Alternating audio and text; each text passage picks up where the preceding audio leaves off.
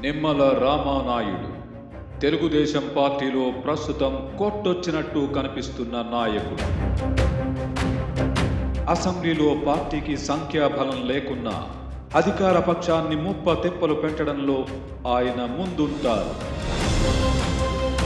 ముఖ్యమంత్రి జగన్ను సైతం ఉడికించేంతగా తన ప్రసంగాలుంటాయి.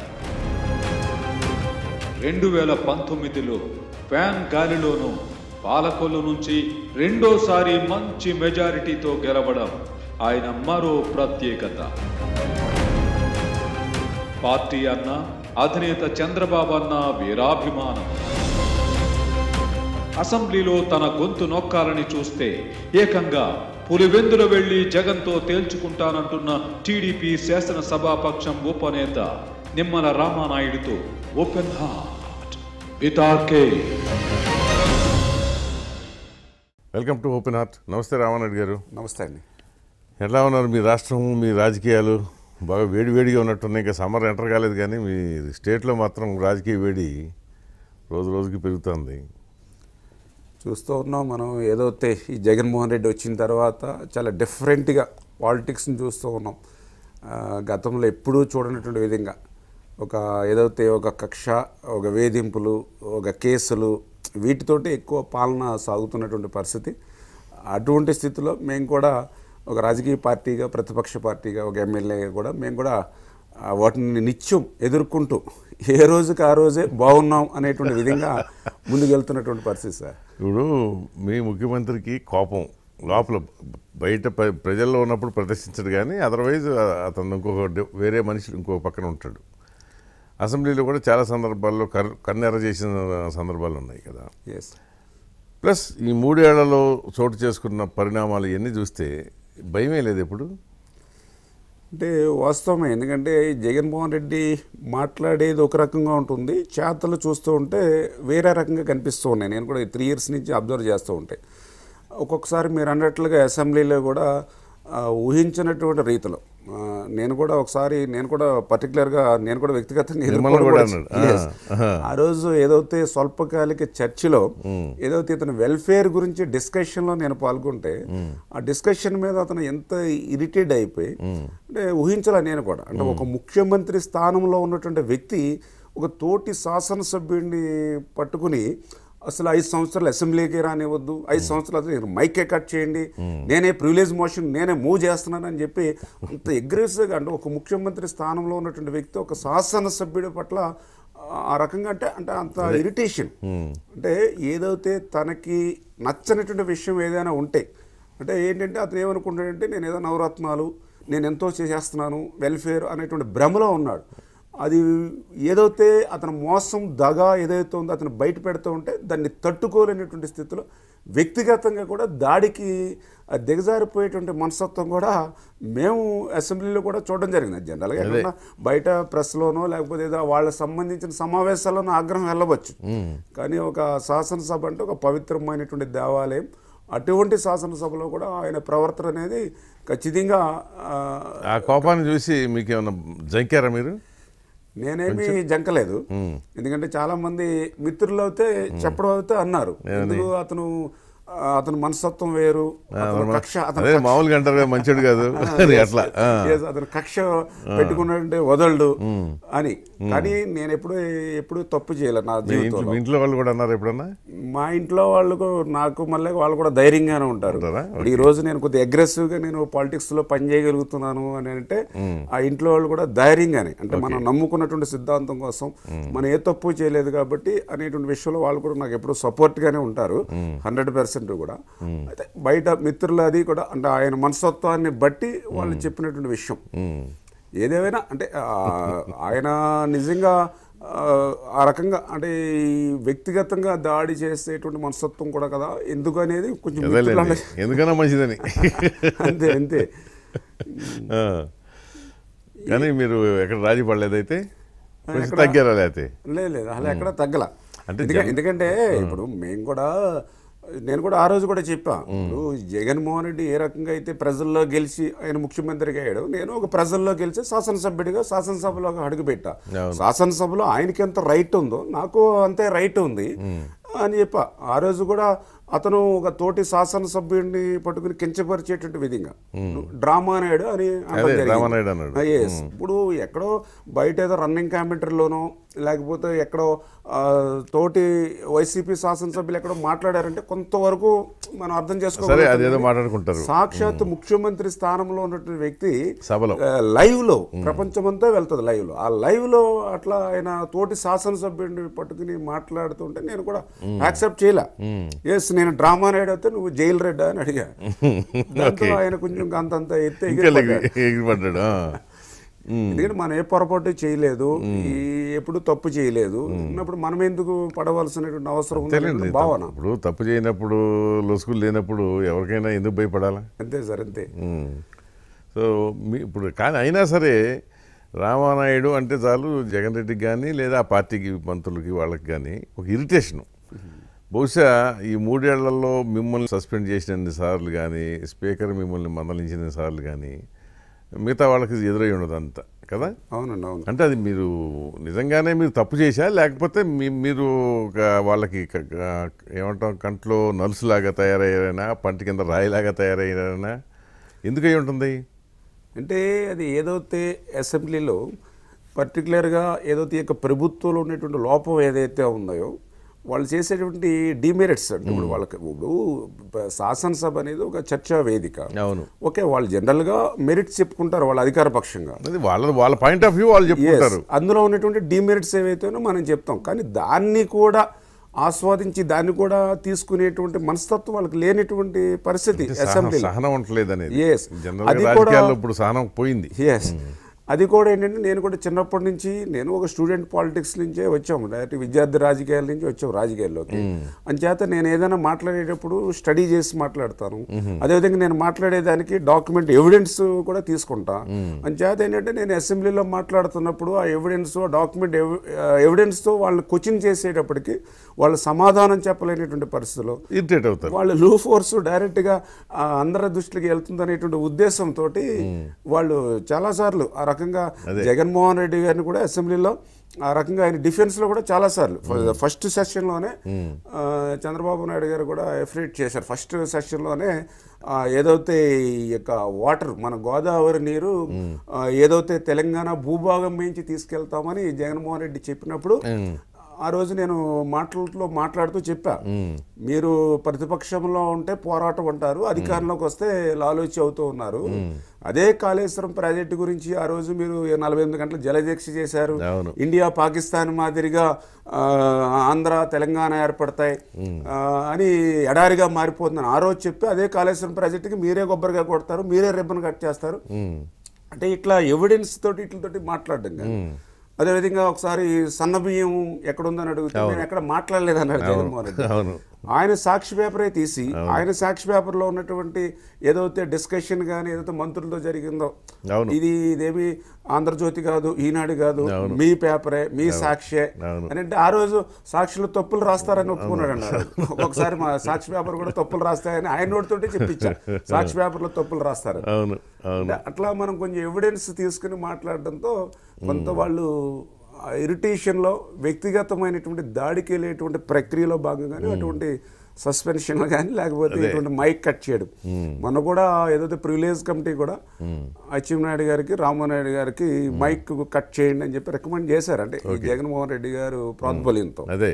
కానీ దాన్ని అయితే అసెంబ్లీలో అయితే అమలు చేయలేదు. అమలు చేయలే. చేయలే. నేను కూడా డిసైడ్ అయ్యా. ఖచ్చితంగా ఒకవేళ అసెంబ్లీలో కనుక మా మైక్ అట్లా కట్ చేస్తే సొంత మైకి తీసుకెళ్దాం అనుకుంటున్నారా? సొంత మైక్ కాదు. అసెంబ్లీ నుంచి డైరెక్ట్గా పులివెందులు వెళ్తా. పులివెందులకి వెళ్ళే తెలుసుకుంటా ప్రజల్లో. ఎందుకంటే ఏం- ఏం తప్పు చేసామని మాకు మైక్ కట్ చేస్తాడు. నేనైతే అట్లా మైండ్లో ప్రిపేర్ అయ్యా. అంటే చాలా మంది మీడియా విషయం అన్ని ఆలోచించి వెళ్తున్నారా? వెళ్దాం అనుకున్నారా? ఎస్ మీడియా మీడియా మిత్రులు చెప్పారు ఈ సెషన్లోకి నేను మైక్ కట్ చేస్తారని. చేస్తే ఇక్కడ అమరావతి నుంచి పులివెందులు వెళ్తా. పులివెందులు వెళ్ళి తేల్చుకుంటా. ఏం మాట్లాడాము ఆ రోజు? నేనేం మాట్లాడా ఆ రోజు పెన్షన్ గురించి మాట్లాడాము. నేను ఆ రోజు మాట్లాడిన దాంట్లో ఓకే తండ్రి నూట పాతి రూపాయలు పెంచాడు ఇవాళ కుమారుడు వచ్చి రెండు వందల యాభై రూపాయలు పెంచాడు అని అన్నట్టు ఆ రోజు. వాస్తవం అది. నలభై ఐదు సంవత్సరాలకి ఎస్సీ ఎస్టీ బీసీ మైనార్టీ మహిళలందరికీ కూడా పెన్షన్ ఇస్తానని నేను చెప్పింది కాదు. ప్రతి పాదయాత్రలో ఆయన చెప్పాడు జగన్మోహన్ రెడ్డి గారు. మరి ఎన్నికల ఏదైతే కరపత్రాల్లో పంచారు గోడల మీద రాశారు వాళ్ళ అఫీషియల్ ప్రొఫైల్లో పెట్టారు. వాళ్ళ కొమ్మినేని గారితో అయితే సాక్షిలో మంచి ఇంటర్వ్యూ కూడా ఇచ్చాడు జగన్మోహన్ రెడ్డి గారు. ఏది? నలభై ఐదు సంవత్సరాలు దాటిన మహిళలు కీళ్ళ నొప్పులు మొక్కల నొప్పులతో ఉంటారన్న. అటువంటి వాళ్ళకి మనం పెన్షన్ ఇస్తే తప్పేంటన్నా అని ఆయన చెప్పిన మాటలు. అది నేను అసెంబ్లీలో మాట్లాడితే దానికి నాకు మైక్ కట్ చేస్తాను సరే ఇప్పుడు అన్ని మారిపోయినాయండి ఇప్పుడు ప్రభుత్వ ఉద్యోగానికి వయ- పరిమితి నలభై ఐదుకి తీసుకొచ్చారు నలభై ఐదేళ్ళకి కేళ్ళ నొప్పులు ఒక మొగల నొప్పులు ఆ నొప్పులు ఈ నొప్పులు వస్తే ఇంకా ఉద్యోగానికి ఏం పనికి వస్తాడట అనుకుంటే? ఎస్ ఎస్ ఇదే ఇది ఒక వేల పడిపోతున్నాంలేండి. కానీ నన్ను అనేది మీరు ఇప్పుడు ఈ ఆలోచన నాకు కూడా అనిపిస్తుంది. మీరు అసలు ఆలోచించి పులివెందులు వెళ్దాం అనుకున్నారా? ఏదో అట్లా కాసేపు ఆవేశంలో ఎందుకంటే మన కళ్ళెదురుగుండా ఒక సంఘటన ఉంది అక్కడ. వివేకానంద రెడ్డిని ఆయన సొంత స్వగృహంలో ఆయన బెడ్రూమ్లో గోడలతో అడ్డంగా నరికేదలు పారేశారు. అది తెలిసి కూడా పులివెందులు వెళ్ళి తిరిగి వద్దామనే? అంటే నాది ఏదైతే ఒక చెగు చెగువేరా. నేను చెప్పాను నేను. కమ్యూనిజం నుంచి అంటే. ఏసెఫ్ నుంచి పనిచేసా ఒక సిద్ధ ఆయన ఒకటే మాట చెప్తూ ఉంటాడు. ఒక నియంతృత్వ నిరంకుశత్వ ప్రభుత్వం ఉన్నప్పుడు జైల్లో ఉంటే మేలు లేదా చనిపోవడం అయినా సరే మేలని. దాన్ని నమ్ముకున్నటువంటి వ్యక్తిని. చేత నేను ఏ తప్పు చేయనప్పుడు దాన్ని ప్రజల్లో తెలియజెప్పాల్సిన అవసరం ఉంది. అందుకే ఎస్ ఆయన పులివెందుల ఓకే. ఆయన మనస్తత్వం తెలుసు ఆయన ఏ రకమైనటువంటి మీరు చెప్పినట్లుగా సొంత బాబాయినే ఏ రకంగా అయితే మట్టు పెట్టి ఈ రోజు ఏ రకంగా అయితే వాళ్ళని రక్షించడానికి ప్రయత్నం చేస్తున్నాడు చూస్తూ ఉన్నాం. ఏది ఏమైనా అంటే ఒక రాజకీయాల్లోకి వచ్చిన తర్వాత ఒక ప్రజా జీవితంలోకి వచ్చిన తర్వాత ప్రజల కోసం పనిచేయాలి తప్ప నా వ్యక్తిగత జీవితం కోసం జీవితం మీది కాదు ఇప్పుడు. అంతే ఎస్ మాటలో చెప్పాలంటే. అంతే అటువంటి మనస్తత్వం. అందుకే అంటే ఎందుకంటే ఒక ఎమ్మెల్యే నేను నేను డిసైడ్ అయ్యే వాస్తవం నిజంగా మైక్ కట్ చేస్తే ఇప్పుడు నేను మొన్న పాలకుల నుంచి అసెంబ్లీకి వచ్చావు సైకిల్ మీద ఒక టిట్కో వెళ్ళి మీద. ఎస్ పాలకుల నుంచి నేను మళ్ళీ సైకిల్ మీద సింగిల్గానే పోతాం ఇబ్బంది ఏమీ లేదు. వెళ్తాం. ప్రజలు తేల్చుకుంటారు. ఏదైనా చేస్తే వెనకాల ప్రజలు చూస్తూ ఉండరు.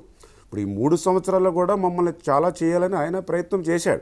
ఎప్పుడైతే అసెంబ్లీలో ఇటువంటి ఇష్యూస్ జరిగినప్పుడు మీ సంగతి చూస్తాం అసెంబ్లీకి రాకుండా చేస్తాం అని అన్నప్పుడే మాకు కూడా పాలకుల్లో ఇంటెలిజెన్స్ ఐజీ స్థాయిలో ఉన్న అధికారి పదిహేను ఇరవై రోజులు మక్క వేసి అసలు మన బ్యాక్గ్రౌండ్ ఏంటి చరిత్ర ఏంటి అని మొత్తం మేము ఇంతకుముందు లాస్ట్ టైం నేను ఐదు సంవత్సరాలు ఎమ్మెల్యేగా ఉన్నప్పుడు ఏం పనులు చేస్తాం అన్ని తెప్పించుకున్నా రికార్డ్స్ ఫైల్స్ దొరుకుతాడేమోనని. జరుగుతారమ్మా నేను ఎప్పుడు కూడా నేను ఎప్పుడు కూడా అటువంటి అటు పోవాలా.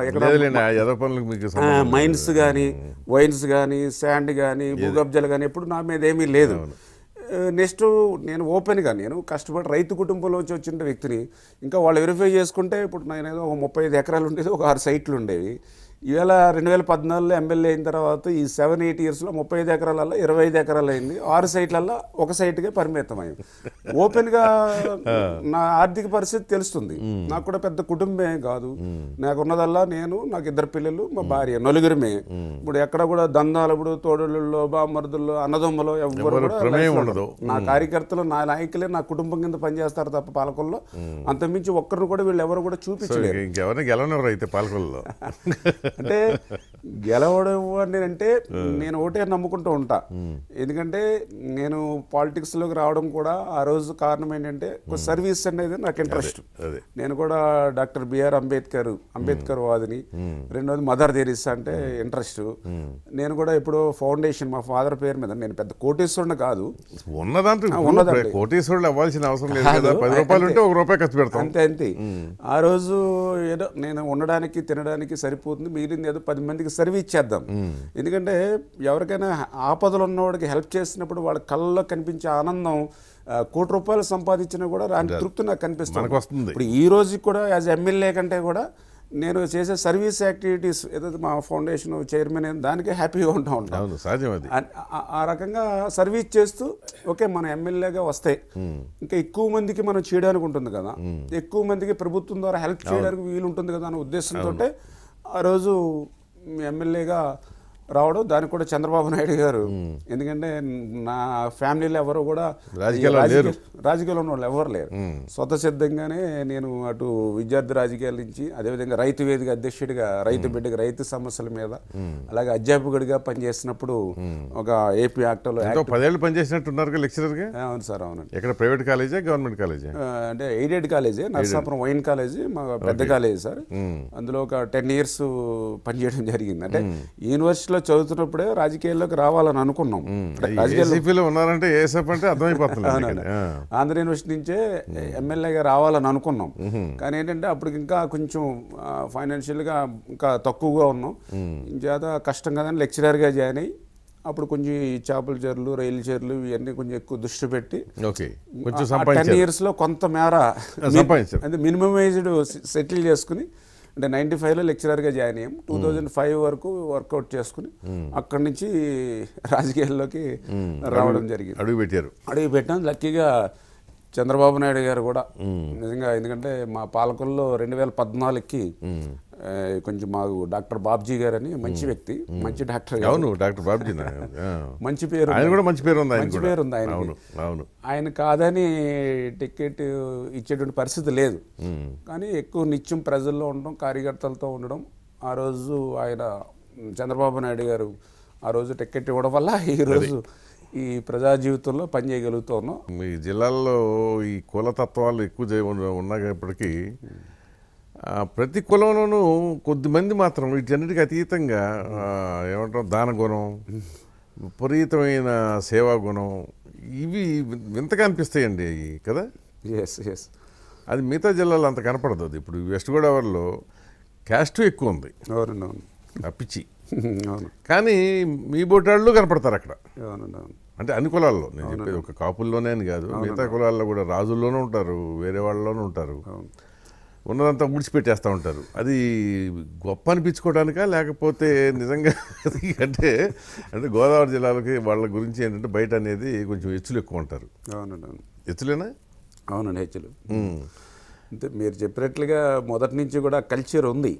ఎవరైనా పది మంది వచ్చినప్పుడు వాళ్ళకి వాళ్ళ భోజనాల దగ్గర కూడా చాలా ఎక్కువ పెట్టాలి. గోదావరి జిల్లాకి భోజనాలకు వెళ్తే ఒక ఐదు కేజీలు పది కేజీలు వెయిట్ పెరిగిపోతాం. అంటే ఆ- ట్రెడిషనల్గా మొదటి నుంచి కూడా కొంచెం మీరు అన్నట్టు కొద్దిగా కొంత అది కూడా ఉండొచ్చేమో. అంటే మనం. అంతర్లీనంగా ఉంటుంది బట్ సేవ అనేది పోలే- దానివల్ల ఏంటంటే కొంత బెనిఫిట్ అనేది లెక్క చూడరు లెక్క చేయరు. లెక్క చేయరు. అది కొన్ని చోట్ల ఫ్రెస్టేజియస్గా ప్రిస్టేజీ ఎన్నో కుటుంబాలు నాకు తెలిసి కూడా ఆర్థికంగా చితికిపోయాయి. అవునండి అవును. పెద్ద పెద్ద ఫ్యామిలీస్ అన్నీ కూడా మళ్ళీ క్రిందికి వెళ్ళిపోయినటువంటి పరిస్థితి ఉంది. ఇప్పుడిప్పుడే మళ్ళీ కొద్దిగా ఈ సాఫ్ట్వేర్ అది వచ్చిన తర్వాత కొంత ఎంప్లాయ్మెంట్ ఈ బెంగళూరు హైదరాబాద్ బయటికి వెళ్ళి పిల్లలు మీ పిల్లలు బయటికి వెళ్ళి కొత్త జనరేషన్ కొంత గ్రామాల్లో సెటిల్ అయిన సెటిల్ అవుతూ ఉన్నారు కానీ మీరు చెప్పినట్లు ఇంత ముందు ఉన్నటువంటి పెద్ద పెద్ద ఫ్యామిలీస్ అన్నీ కూడా జమీందారీ ఫ్యామిలీస్ పెద్ద పెద్ద ఇప్పుడు కాకపోతే ఆ జాడీలు ఉంటాయి అంతే పెద్ద పెద్ద పచ్చల జాడీలు. అయ్యే కనపడతాయి గంగలాలు. అవన్నీ ఇప్పుడు గేదెలకి చిట్టు పెట్టుకు చిట్టు వేసుకుంటూ ఉపయోగించుకుంటున్నాం అవి. పెద్ద పెద్ద మ- మన మంచాలు ఉండి వాస్తవం ఇప్పుడు మా ఇంట్లో కూడా పెద్ద పెద్ద మంచాలు ఉండి పందిరి మంచాలు నేను చదువుకునే టైంలో అట్లనే వెయ్యి రూపాయలకి రెండు వేలకి అమ్ము అమ్మినటువంటి పరిస్థితులు ఉన్నాయి నేను కూడా. మా జాడీని కూడా ఇప్పుడు అప్పుడు అనుకుంటాం. ఆ. రోజున అమ్మేసాం రెండు వేలకి ఎంతో. అంటే కొంతమంది సినిమా షూటింగ్లు ఇట్లా కానీ మా ఇంట్లో కూడా ఉండేవి మాది మండవాళ్ళు పెద్ద ఫ్యామిలీ. హండ్రెడ్ ఏకర్స్ ఉండేది. నా దగ్గరికి వచ్చాక మా ఫాదర్ నాకు ఐదు ఎకరాలే ఇచ్చారు అప్పుడు. ఓకే. ఆయన. అప్పుడు ఇవన్నీ కూడా మా ఇంట్లో కూడా వాస్తవం జరిగినాయి ఇవన్నీ కూడా. అంటే అసలు అట్లా తగలబెట్టడం కూడా గొప్ప అనుకునేవాళ్ళు. అంటే కొంచెం ఎవరన్నా వచ్చి కొంచెం మంచిగా నాలుగు మాటలు చెప్పినా రెండు పొగడతలు అంటే పొగిడినా ఎప్పుడు ఇట్లా ఉండాలని మనస్తత్వం అంతే. పైన ఉండాలనేది. అంతే అంతే అంతే. పెద్ద మనసు అంటారే పెద్ద మనసు చేసుకుంటారు అంతే పెద్ద మనసు దానగుణం దానగుణం ఉంది కొన్ని కొన్ని కొంచెం అంటే అక్కడ కొద్దిగా క్షత్రియాస్ మా జిల్లాల్లో కూడా వాళ్ళు వాళ్ళు కూడా అంతే. వాళ్ళు కూడా కొంచెం గట్టిగా ఇంకా ఎంతైనా ఒక డిసైడ్ అయ్యారంటే అది మొత్తం అన్ని తగలబెట్టేస్తారు. ఇంక దేనికైనా సరే రెడీ. క్షత్రియాస్ వాళ్ళు కూడా అట్లా చేస్తారు. వాళ్ళకి హెల్పింగ్ కూడా కూడా. అవును. ఇప్పుడు ఏదైనా నేను కూడా చూస్తుంటాను ఏదైనా ఫ్లడ్స్ ఏదైనా ప్రకృతి వైపరీత్యాలు వచ్చినప్పుడు నేను కూడా యాజ్ ఎమ్మెల్యేగా చూస్తున్నాను. లాస్ట్ టైం హుదూద్ తుఫాన్ వచ్చింది. ఇప్పుడు మీరు అదే అటువంటిప్పుడు కూడా నేను పాలకుల్లో సార్కి సీఎం రిలీఫ్ అంటే ఎయిటీ పర్సెంట్ ఓన్లీ క్షత్రియాస్ నుంచి వచ్చింది. అంటే వాళ్ళు కూడా అట్లా అది ఉంటుంది అదే అంటున్నాను నాకు తెలుసు. ఇప్పుడు మన శివ కాన్స్టిట్యూన్సీ పేరేంటి? ఉండండి ఉండి. ఉండి. ఉండి కాన్స్టిట్యూన్సీ అతను అంతే చేసేవాడు కదా. అంతే అండి. మీ ఇద్దరు పోటాపడిగా చేసేవాళ్ళు. ఆ రెండు కాన్స్టిట్యూన్సీలుగా గెలిచింది మీరు ఇప్పుడు మొన్న? ఉండి పాలకొల్లు అంతే సార్. అంతే కదా మీరు రెండే కదా. అంతే అండి పదిహేనుకి రెండు కాన్స్టిట్యూన్సీ రెండు. రెండు కూడా దానికి నేపథ్యం ఉంది. ఎందుకంటే ఇంత సర్వీస్ చేశారు ఇద్దరు కూడా. అవును సర్వీస్ సర్వీస్ చేశాం.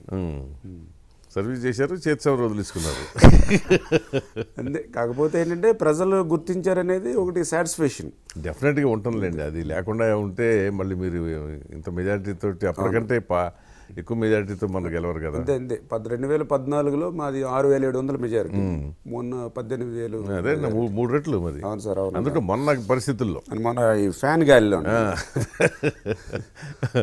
తప్ప తాలు కాదని చెప్పి రుజువు చేసుకున్నారు. అవునండి అవును. ఇప్పుడేంటి మీకు అసెంబ్లీలో ఏదో కొత్తగా గీతలు గీస్తున్నారేంటి? ఆ రంగు ఈ రంగు ఇది దాటితే అది అది దాటితే అది అని చెప్పి. ఇప్పుడు ప్రజలు కూడా ఒక ఆలోచన చేయాలి. ఎందుకంటే యాభై శాతం ఓట్లు ఇచ్చి నూట యాభై ఒక్క సీట్లు ఇచ్చారు జగన్మోహన్ రెడ్డికి. మరి నూట యాభై ఒక్క సీట్లు ఇస్తే ఇప్పుడు సరే మా ఇరవై మూడుకి పరిమితం అందులో ఒక ఐదు ఆరుగురు దాటేసినటువంటి పరిస్థితి. అందులో మళ్ళీ చంద్రబాబు నాయుడు గారు ఏదైతే ఈ యొక్క కౌరవ సభలో నేను అడుగు పెట్టాను మళ్ళీ ముఖ్యమంత్రిగానే ప్రజాక్షేత్రంలోకి వెళ్ళి గౌరవ సభలో అడుగు పెడతాను. సో అట్లా చూసుకుంటే మేము బాలకృష్ణ గారు కొంచెం ఆయనకు ఉన్నటువంటి బిజీ తోటి పదిహేను పదిహేను పదహారు మంది ఉన్నాం నాకు తెలుసు పదిహేను పదహారు అంతే. నూట యాభై మంది. పదహారు మంది పేర్కొన్నారు. ఆ పదహారు మందిలో మళ్ళీ నలుగురు మనకెందుకు లేని టైప్ ఉంటారు. కొంచెం పెద్ద మనిషి తరహాలో ఉండాలి. పెద్ద మనిషి ఇంకో మీరు ఏదో పెద్ద మనిషి కనుక ఆ మాట అన్నారు నేను ఇంకో మాట అంటాను. అంటే నూట యాభై ఒక్క మంది ఒక పదిహేను మందికి ఎందుకు సమాధానం చెప్పలేకపోతున్నారు అర్థం కానిటువంటి ప్రశ్న మాకు కా- మాకు కాదు. ప్రజలు ఆలోచన చేస్తా ఉన్నారు. నేను కూడా ఇప్పుడు సోషల్ మీడియా బాగా యాక్టివ్ అయింది. సోషల్ మీడియాలో కోచింగ్ చేస్తా ఉన్నారు. నూట యాభై మంది ఒక పదిహేను మందికి ఎందుకు సమాధానం చెప్పలేకపోతూ ఉన్నారు ఇప్పుడు ఈవేళ కూడా నేను మొన్న అసెంబ్లీకి పోయాం. అసెంబ్లీకి పోతే ఏదైతే కల్ కల్తీ సారా తాగి జంగారెడ్డిగూడెంలో మరి ఇరవై ఏడు మంది చనిపోయినటువంటి పరిస్థితి. నిజంగా దాన్ని ఇప్పుడు కరెంట్ టాపిక్ అది. అసలు నిజంగా గతంలో ఒక పది పదిహేను సంవత్సరాల క్రితం అసెంబ్లీ జరుగుతుంటే ఇటువంటి బ్యాడ్ ఇన్సిడెంట్ ఏదైనా జరిగితే రాష్ట్రం రాష్ట్రం అంతా కూడా గగ్గోలు వచ్చేది. అసెంబ్లీ జరిగిన టైంలో అంటే దానికి అంత ఇంపార్టెన్స్ ఉంటుంది అసెంబ్లీ టైము అటువంటి టైంలో దాన్ని మేము అడిగిందల్లా డిస్కషన్ అడిగాం. మేమేమి దాన్ని ముఖ్యమంత్రి గారి మీద బూతులో లేకపోతే ఇటు కాదు. డిస్కషన్ పెట్టమన్నాం. ఎందుకు ప్రభుత్వం పారిపోయింది? ప్రభుత్వం పారిపోవడం ఒక ఎత్తు. అసలు జగన్మోహన్ రెడ్డి గారు అసెంబ్లీ సాక్షిగా అబద్ధాలు చెప్పడం. ఆయన ఏం చెప్పాడు? బీఎస్సీ మీటింగ్లో ఏ సహజ మరణాలు వీళ్ళు తీసుకొచ్చి. అంతకుముందు బిఎస్సీ ఓకే ఆ. బీఎస్సీ మీటింగ్లో స్పీకర్ గారికి ఆయన చెప్పేశాడు. అసెంబ్లీని వీళ్ళు ప్రతిపక్షం వాళ్ళు అబద్ధాలు అసత్యాలు అవును, మీరు-. మీరు ఆటోమేటిక్గా మీరు ప్రివిలేజ్ మోషన్ మూవ్ చేసేసి సస్పెండ్ చేసేయండి అని అవును. మరి ఆయన అసెంబ్లీకి వచ్చి ఏం చెప్పాడు? ఇవన్నీ కూడా సహజ మరణాలు. అవును. యాభై నాలుగు వేలు ఉన్నటువంటి జంగారెడ్డిగూడెం జనాభాలో టూ పర్సెంట్ డెత్ రేట్ ఉంటుంది. తొంభై మంది చనిపోవాలి ఇంకా ఇరవై మంది ఇరవై ఏడు మంది చనిపోయారు అనేది ఒకటి. రెండు ఆ మాట? యాభై నాలుగు వేల మంది ఉన్న జనాభాలో జనాభా ఉన్న పట్టణంలో సార్ నాటు సారా కాస్తారా ఎట కాస్తారని కదా అదే మేజర్గా సెకండ్ ఏంటంటే అసలు ఇన్ని వేల జనాభా మధ్యన పట్టణంలో సారా కాయడం అనేది సాధ్యం కాదు. మా వాలంటీర్స్ ఉన్నారు మా సచివాలయాలు ఉన్నారు మా పోలీసు ఉన్నారు. అసలు సారాయే లేదు సారా కాయడం అసాధ్యం అని అసెంబ్లీలో చెప్పాడు. కానీ ఆయనకి ఆయన ఎందుకు మరి హైదరాబాద్లో ఉండేవాడే కదా? నాకు అర్థం కాలేదు ఇక్కడ హైదరాబాద్ ఇంత మహానగరం కదా? అవును సార్. కానీ ఇక్కడ మరి గుడంబం ఉంటుంది కదా? అదే తెలియలేదు ఆయనకి చిన్న లాజిక్ ఎట్ట మిస్ అయ్యాడు? అంటే నేను అనుకుంటూ ఉన్నాం ఆయన చాలా తెలివైన వాడే. ఆయన ఆలోచనలన్నీ కూడా అంత తెలివి తక్కువ కాకపోతే మైండ్ అంతా కూడా ఎవ్రీడే ఈ రోజు నాకు ఏ విషయం మీద ఎంత వస్తుంది ఎవరి దగ్గర పెట్టాలి ఎట్లా చేయాలి అంటే ఆయన మైండ్ సెట్ దాని మీద పెడుతూ ఉన్నాడు దీని మీద మైండ్ సెట్ కనీసం ఒక ముఖ్యమంత్రి హోదాలో ఉన్నప్పుడు జంగారెడ్డిగూడలో ఏం జరిగింది అనేది వాళ్ళ ప్రభుత్వ అధికారులతో ఇన్ఫర్మేషన్ తీసుకోవచ్చు అవును. కానీ అంత ఆ రోజు సులువుగా ఆయన పొద్దున స్టేట్మెంట్ ఇచ్చారు సాయంత్రం సాయంత్రం వెంటనే. వాళ్ళు ఎస్ఐ ఎవరైతే స్పెషల్ ఎన్ఫోర్స్మెంట్ బ్యూరో ఎస్ఐ చెప్పింది. ఓన్లీ ఫోర్ డేస్ నాలుగు రోజుల్లో ముప్పై మూడు మంది మీద కేసులు పెట్టాము పద్దెనిమిది వేల లీటర్ల మరి లిక్విడ్ సారా ధ్వంసం. చేసాం ఏదో యాభై నాలుగు వేల కేజీల నల్ల బెల్లాన్ని సీజ్ చేసామని అంటే నువ్వేం పొద్దుటేమో అసలు సారాయే లేదన్నావు. సాయంత్రం నీ అధికారే అక్కడ ఆర్డీఓ కూడా మెన్షన్ చేశాడు లాస్ట్ వన్ ఇయర్లో ఎంత జరుగుతుందని. నిన్న మళ్ళీ స్టేట్లో ఎంత జరిగిందనే చెప్పడం జరిగింది. అంటే నేను అనుకోవడం ఏంటంటే ఇతను కనీసం సిల్లీగా ఎందుకంటే లాస్ట్ టైం కూడా ఒకసారి అసెంబ్లీలో చూసాం. ఒకసారి అమ్మాయి రేప్ చేసి చనిపోతే ఏదో టోల్ కట్టడానికి దిగింది బండి. అంటే బైక్కి టోల్. ఉండదన్న. సంగతి కూడా అవగాహన లేకుండా అటువంటి సీరియస్ ఇష్యూని కూడా అతను టేకప్ చేయలే. అంటే నేను అనుకునేది ఏంటంటే అతని మైండ్ అంతా కూడా ఓకే ఇవాళ లెక్కర్లో ఎన్ని కేసులు వెళ్ళింది ఎన్ని కేసుల నుంచి ఎన్ని వందల కోట్లు వస్తుంది దీన్ని ఎక్కడ పెట్టుకోవాలి శాండ్ని ఎట్లా మనం ఎంత వస్తుంది ఎక్కడ పెట్టుకోవాలి అని నిజంగా నేను డైలీ చూస్తుంటే ఒక one hour one and half hour ఆ సెక్రటరియట్కి వస్తాడు.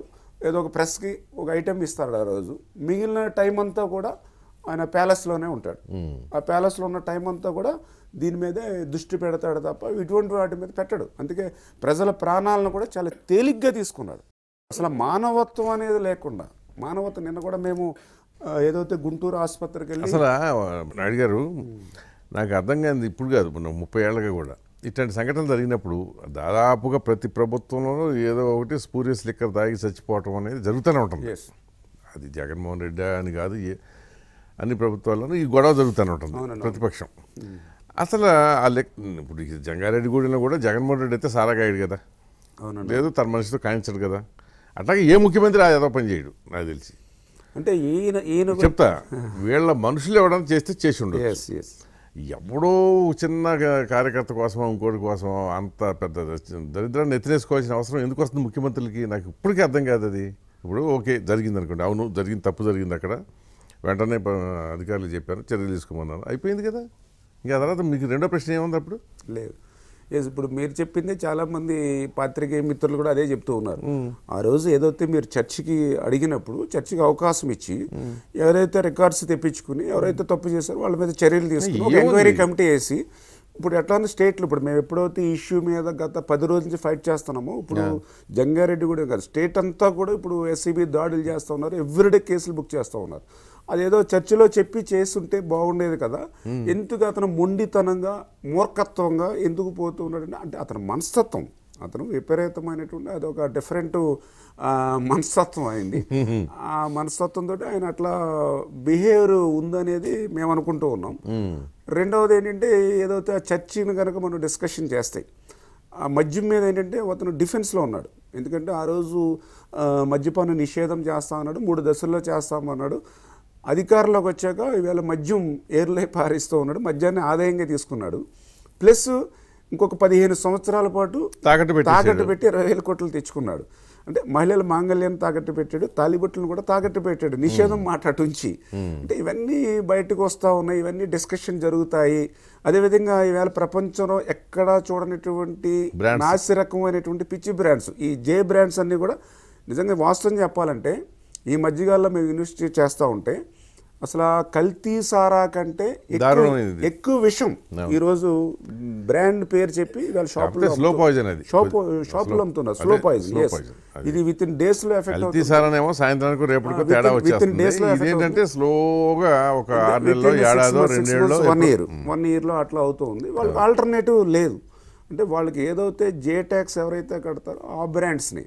ఆ డిస్టిలరీలు కూడా అన్ని వీళ్ళ చేతుల్లోనే ఇప్పుడు మేము కూడా ఎంక్వైరీ చేస్తాం. వీళ్ళ స్టేట్లో డిస్టిలరీలు ఎక్కడెక్కడ ఉన్నాయి ఎవరి చేతుల్లో ఉన్నాయంటే అన్నీ కూడా వైసీపీ వీళ్ళ బినామీల చేతుల్లోనే డిస్టిలరీలు పెట్టుకున్నాడు. చేత మద్యం మీద ఈయన దగ్గర దగ్గర పెర్ మంత్ వచ్చేటికి మినిమం టూ హండ్రెడ్ రెండు వందల కోట్లు ఈయనకి వస్తూ ఉంది. అంటే డిస్టిలరీల రూపంలో వాళ్ళ వైసీపీ స్టేట్ లీడర్స్ ఎవరైతే ఉన్నారో వాళ్ళకి వస్తూ ఉంది. గ్రౌండ్ లెవెల్లో ఇటువంటి కల్తీ సారైట్ల వల్ల కింది స్థాయి ఉన్నటువంటి వైసీపీ నాయకులు ఇప్పుడు ఇక్కడ జంగారెడ్డిగూడెంలో కూడా బట్టీకి వచ్చి రెండేసి లక్షలు ఇస్తూ ఉన్నారు అక్కడ లోకల్ లీడర్స్కి. వాళ్ళు అంటే ఇట్లా మూడు కేటగిరీల్లో ముగ్గురు అడ్జస్ట్ అవుతూ ఉన్నారు అందరూ సుఖంగా ఉన్నారంటారు. ఉన్నారు. Yes, yes. నాయుడు గారు ఒకటి చెప్తా సారా వ్యాపారం చేసిన వాళ్ళు కానీ ఇట్లాంటివి చేసిన వాళ్ళు ఆ కుటుంబాలు ఒక పది ఇరవై ఏళ్ళ తర్వాత ఏదైనా సరిగ్గా ఉన్నాయా? ఒకటన్నా? లేదండి మీరు మీరు చెప్పింది వాస్తవం. అందుకని ఏదైనా తీసుకోండి. ఎంత పెద్ద సారా వ్యాపారి లిక్కర్ వ్యాపారి అయినా తీసుకోండి. ఆ కుటుంబాలు ఎందుకు చిన్నభిన్నం అయిపోవాలా? అవునండి ఆర్థికంగా దెబ్బతిన్నారు కుటుంబాల్లో సావులో లేకపోతే ఇంకొకటో ఇంకొకటో ఏదో జరిగి కరెక్ట్ నేను కూడా మేము కూడా చూసాం. చాలా కుటుంబాలు ఆ లిక్కర్ బిజినెస్లోకి వెళ్ళిన వాళ్ళు వాళ్ళ ఫ్యామిలీస్ అంటే ఎవరైతే పాపం దీంతో ఎఫెక్ట్ అయ్యారో అదేంటున్నా వాళ్ళు ఉసురు తగులుతూ ఉంటుంది కదా. ఎందుకంటే ఇప్పుడు నేను ఇవాళ వాట్సాప్లో కానీ కొంతమంది అడుగు చూస్తుంటే ఆ చిన్న కుర్రోడు కోచింగ్ చేశాడు. నాకు అమ్మఒడి ఇచ్చి నాన్నం లేకుండా చేశాడు. జ్ఞానం లేకుండా చేశారు ఇంకా అది ఎంత వాల్యుబుల్ అంటే మీరు చెప్పినట్లుగా మేము అదే అంటే డిస్కషన్ కూడా రాకపోవడానికి కూడా కారణం అది. ఎందుకంటే ఇది ఎగ్జిబిట్ అయ్యి ఎలివేట్ అవుతాయి. ఇది జనాభాలో సగం ఉన్నారు ఇవాళ మహిళలు ఫిఫ్టీ పర్సెంట్. ఆ మహిళలందరూ కూడా ఇది sentimental seriousness issue last time కూడా ఇతనికి ఇబ్బడి ముబ్బడిగా ఓట్లు వచ్చినాయి అంటే మద్యం మీద ఇతను వాళ్ళని కొంచెంగా సెంటిమెంటల్గా కవర్ చేశాడు. పెద్ద పెద్ద యాడ్స్ కూడా ఇచ్చాడు టీవీలో ఇట్లో కూడా చూస్తూ ఏది ఆ భర్త తాగొచ్చి భార్యని కొడుతూ ఉంటే వాళ్ళ అబ్బాయి వచ్చి ఆ కర్రలాక్కుని నీకు రేపు మా జగనన్న వస్తూ ఉన్నాడు నీకు ఈ మద్యం దొరకదు అని ఇట్లా మహిళల్ని అట్రాక్ట్ చేసి చేశాడు. ఇప్పుడు దానికి పూర్తి విరుద్ధంగా. ఖచ్చితంగా అది ఆ మహిళలు ఇంకా ఇప్పుడు ఇప్పుడు ఏ గవర్నమెంట్ అయినా సరే ఇంకా మద్యపాన నిషేధం అంటే అంతకంటే బూత్ ఇంకోటి ఉండదు. ఎందుకంటే ఈ గవర్నమెంట్లు ఇప్పుడు అమలు చేస్తున్న ఈ పిచ్చి పిచ్చి సంక్షేమ పథకాలు ఎక్కడి నుంచి వస్తాయండి? వాళ్ళు ఏమైనా జగన్మోహన్ రెడ్డి ఏమైనా ఇడుపుపాయలో అమ్మొస్తాడా? లేకపోతే చంద్రబాబు నాయుడు ఏమైనా హెరిటేజ్ నుంచి తీసుకెళ్ళి పెడతాడా? ఎవరు పెడతారు చెప్పండి? లేదా ఇక్కడ కేసీఆర్ పెడుతున్నాడా? అంతే మీరు మీరు చెప్పింది వాస్తవం. గతంలో కూడా ఎన్టీ రామారావు గారి టైంలో మద్యపాన నిషేధం అని పెట్టి అది అమలు సాధ్యం కానిటువంటి స్థితిలో అదేమో వేరే పరిస్థితులు. వచ్చాం అయినా సరే అందుకని అప్పుడే మేము దాన్ని మద్యం తీసుకున్నాం. మనం ఫెయిర్గానే మనం మాట్లాడుకోవాలి. అంటే అది మనం సక్సెస్ కాలేకపోయాం. కాకపోతే మేమనేది ఏంటంటే మొన్న రెండు వేల పంతొమ్మిదిలో మేము సరే మీకు అది అతను ఉపయోగించుకున్నాడు. మేము హామీ ఇవ్వాలి ఆయన హామీ ఇచ్చాడు. మేము అడుగుతున్నాం అంటే ఇప్పుడు మద్యపాన నిషేధం అని మేము అంటలా నువ్వు హామీ ఇచ్చావు నువ్వు మాట ఇచ్చావు నువ్వు మాట తప్పను మడమ తిప్పను నా ఏదో మూడు ముక్కలు ఈయనకి అలవాటు ప్రతిది. నేను కూడా మూడు ముక్కల ఇది మేనిఫెస్టో అంటావు కదా బైబిల్ ఖురాన్ భగవద్గీత అంటాం. అంచేత నువ్వు నిలబెట్టుకోమని అడుగుతూ ఉన్నాం మేము. అతను మాట నిలబెట్టుకోమని అడుగుతూ ఉన్నాం మడం తిప్పడమా లేకపోతే నాలుగు తిప్పడమా ఏదో అన్నీ అయిపోయినాయి. చూస్తున్నారు అనుకోండి జనం చూస్తున్నారు. కానీ మీదేంటంటే సోషల్ మీడియా గురించి మీరు చెప్తుంటే చాలా యాక్టివ్గా ఉన్నట్టున్నారు మీరు కూడా సోషల్ మీడియాలో. ఫాలో అవుతుంటారు అనుకుంటా ఓకే. చాలా సందర్భాల్లో సోషల్ మీడియాలో తెలుగుదేశం పార్టీని కూడా విమర్శిస్తుంటారు. ఏమని? "ఏహ, ఈ సన్నాసులకి సరిగ్గా ఫైట్ చేయడం రాదు అని చెప్పి. అది గమనించారు ఎప్పుడన్నా? అవును కొంత ఉంటుంది. ఎందుకని అంటారు అది? అంటే ఇప్పుడు మీరు నిజంగా ఫైట్ చేయాల్సినంత చేయలేకపోతున్నారా? లేకపోతే మీ ప్రియారిటీస్లో లోపమా? లేకపోతే ఇంకా ఏం లేదు మీ గైడెన్స్ సరిగ్గా లేదా? అంటే లేదు. అంటే ఏమైందంటే మాకు ట్రెడిషనల్ పాలిటిక్స్కి ఎక్కువ అలవాటు పడిన వాళ్ళం తెలుగుదేశం బట్టలు అంటే అంత గౌరవంగా ఉండేటువంటి వాళ్ళం. అంటే నేను కూడా జనరల్గా చూస్తుంటాను మా లీడర్స్. నేను కానీ నా కింద ఉన్న లీడర్స్. కంపారిజన్ కాంగ్రెస్ కంపారిజన్ అంటే ఇప్పుడు వైసీపీ. వాళ్ళతో కంపేర్ చేస్తే కొంచెం సాఫ్ట్ కార్నర్లో పాలిటిక్స్ చేసేటువంటి వాళ్ళు సర్వీస్ ఓరియంటెడ్లో గాలివాటంగా గెలిచి వస్తారండి చాలా మంది కొంతమంది సర్వీస్ మీలాంటి వాళ్ళు తెలుగుదేశం ఇప్పుడు కాదు ఎయిటీ త్రీ నుంచి చూస్తున్నాను నేను. గ్రౌండ్ లెవెల్లో ఏమిటి అనేది ఇప్పు- ఇప్పుడు ఎగ్జాంపుల్. ఇప్పుడు మీ ప్లేస్లో వైసీపీ ఉంటే వివేకానంద రెడ్డి కేసు నిన్న రెండు రోజుల క్రితం థర్డ్ యానివర్సరీ యూనివర్సిటీ నానాయాగి చేసి ఉండేవాళ్ళు ఎందుకంటే కేసుకు రూపం వచ్చేసింది. అవును. చేసింది ఎవరు చేయించింది ఎవరు అంత క్లారిటీ అయిపోయింది ఇంకా అది.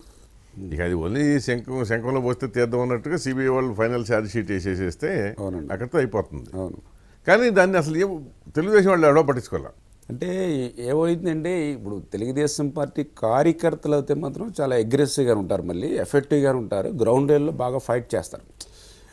మీరు అన్నట్లు కొంత నేను అదే నాయకత్వం ఒకటే కొంచెం దగ్గర లీడ్ చేసేటువంటి లీడర్స్ అక్కడ కూడా పది మంది ఆ రోజు మీకు అపోజిషన్లో ఉన్నప్పుడు వైసీపీ వాళ్ళు కూడా పది పదిహేను మంది యాక్టివ్గా ఉండేవాళ్ళు. మిగతా వాళ్ళు అంత యాక్టివ్గా ఉండేవాళ్ళు కాదు. ఇప్పుడు వనజాక్షి విషయం ఉందనుకోండి జరిగింది ఒకటి ప్రచారంలోకి వచ్చేసింది ఒకటి.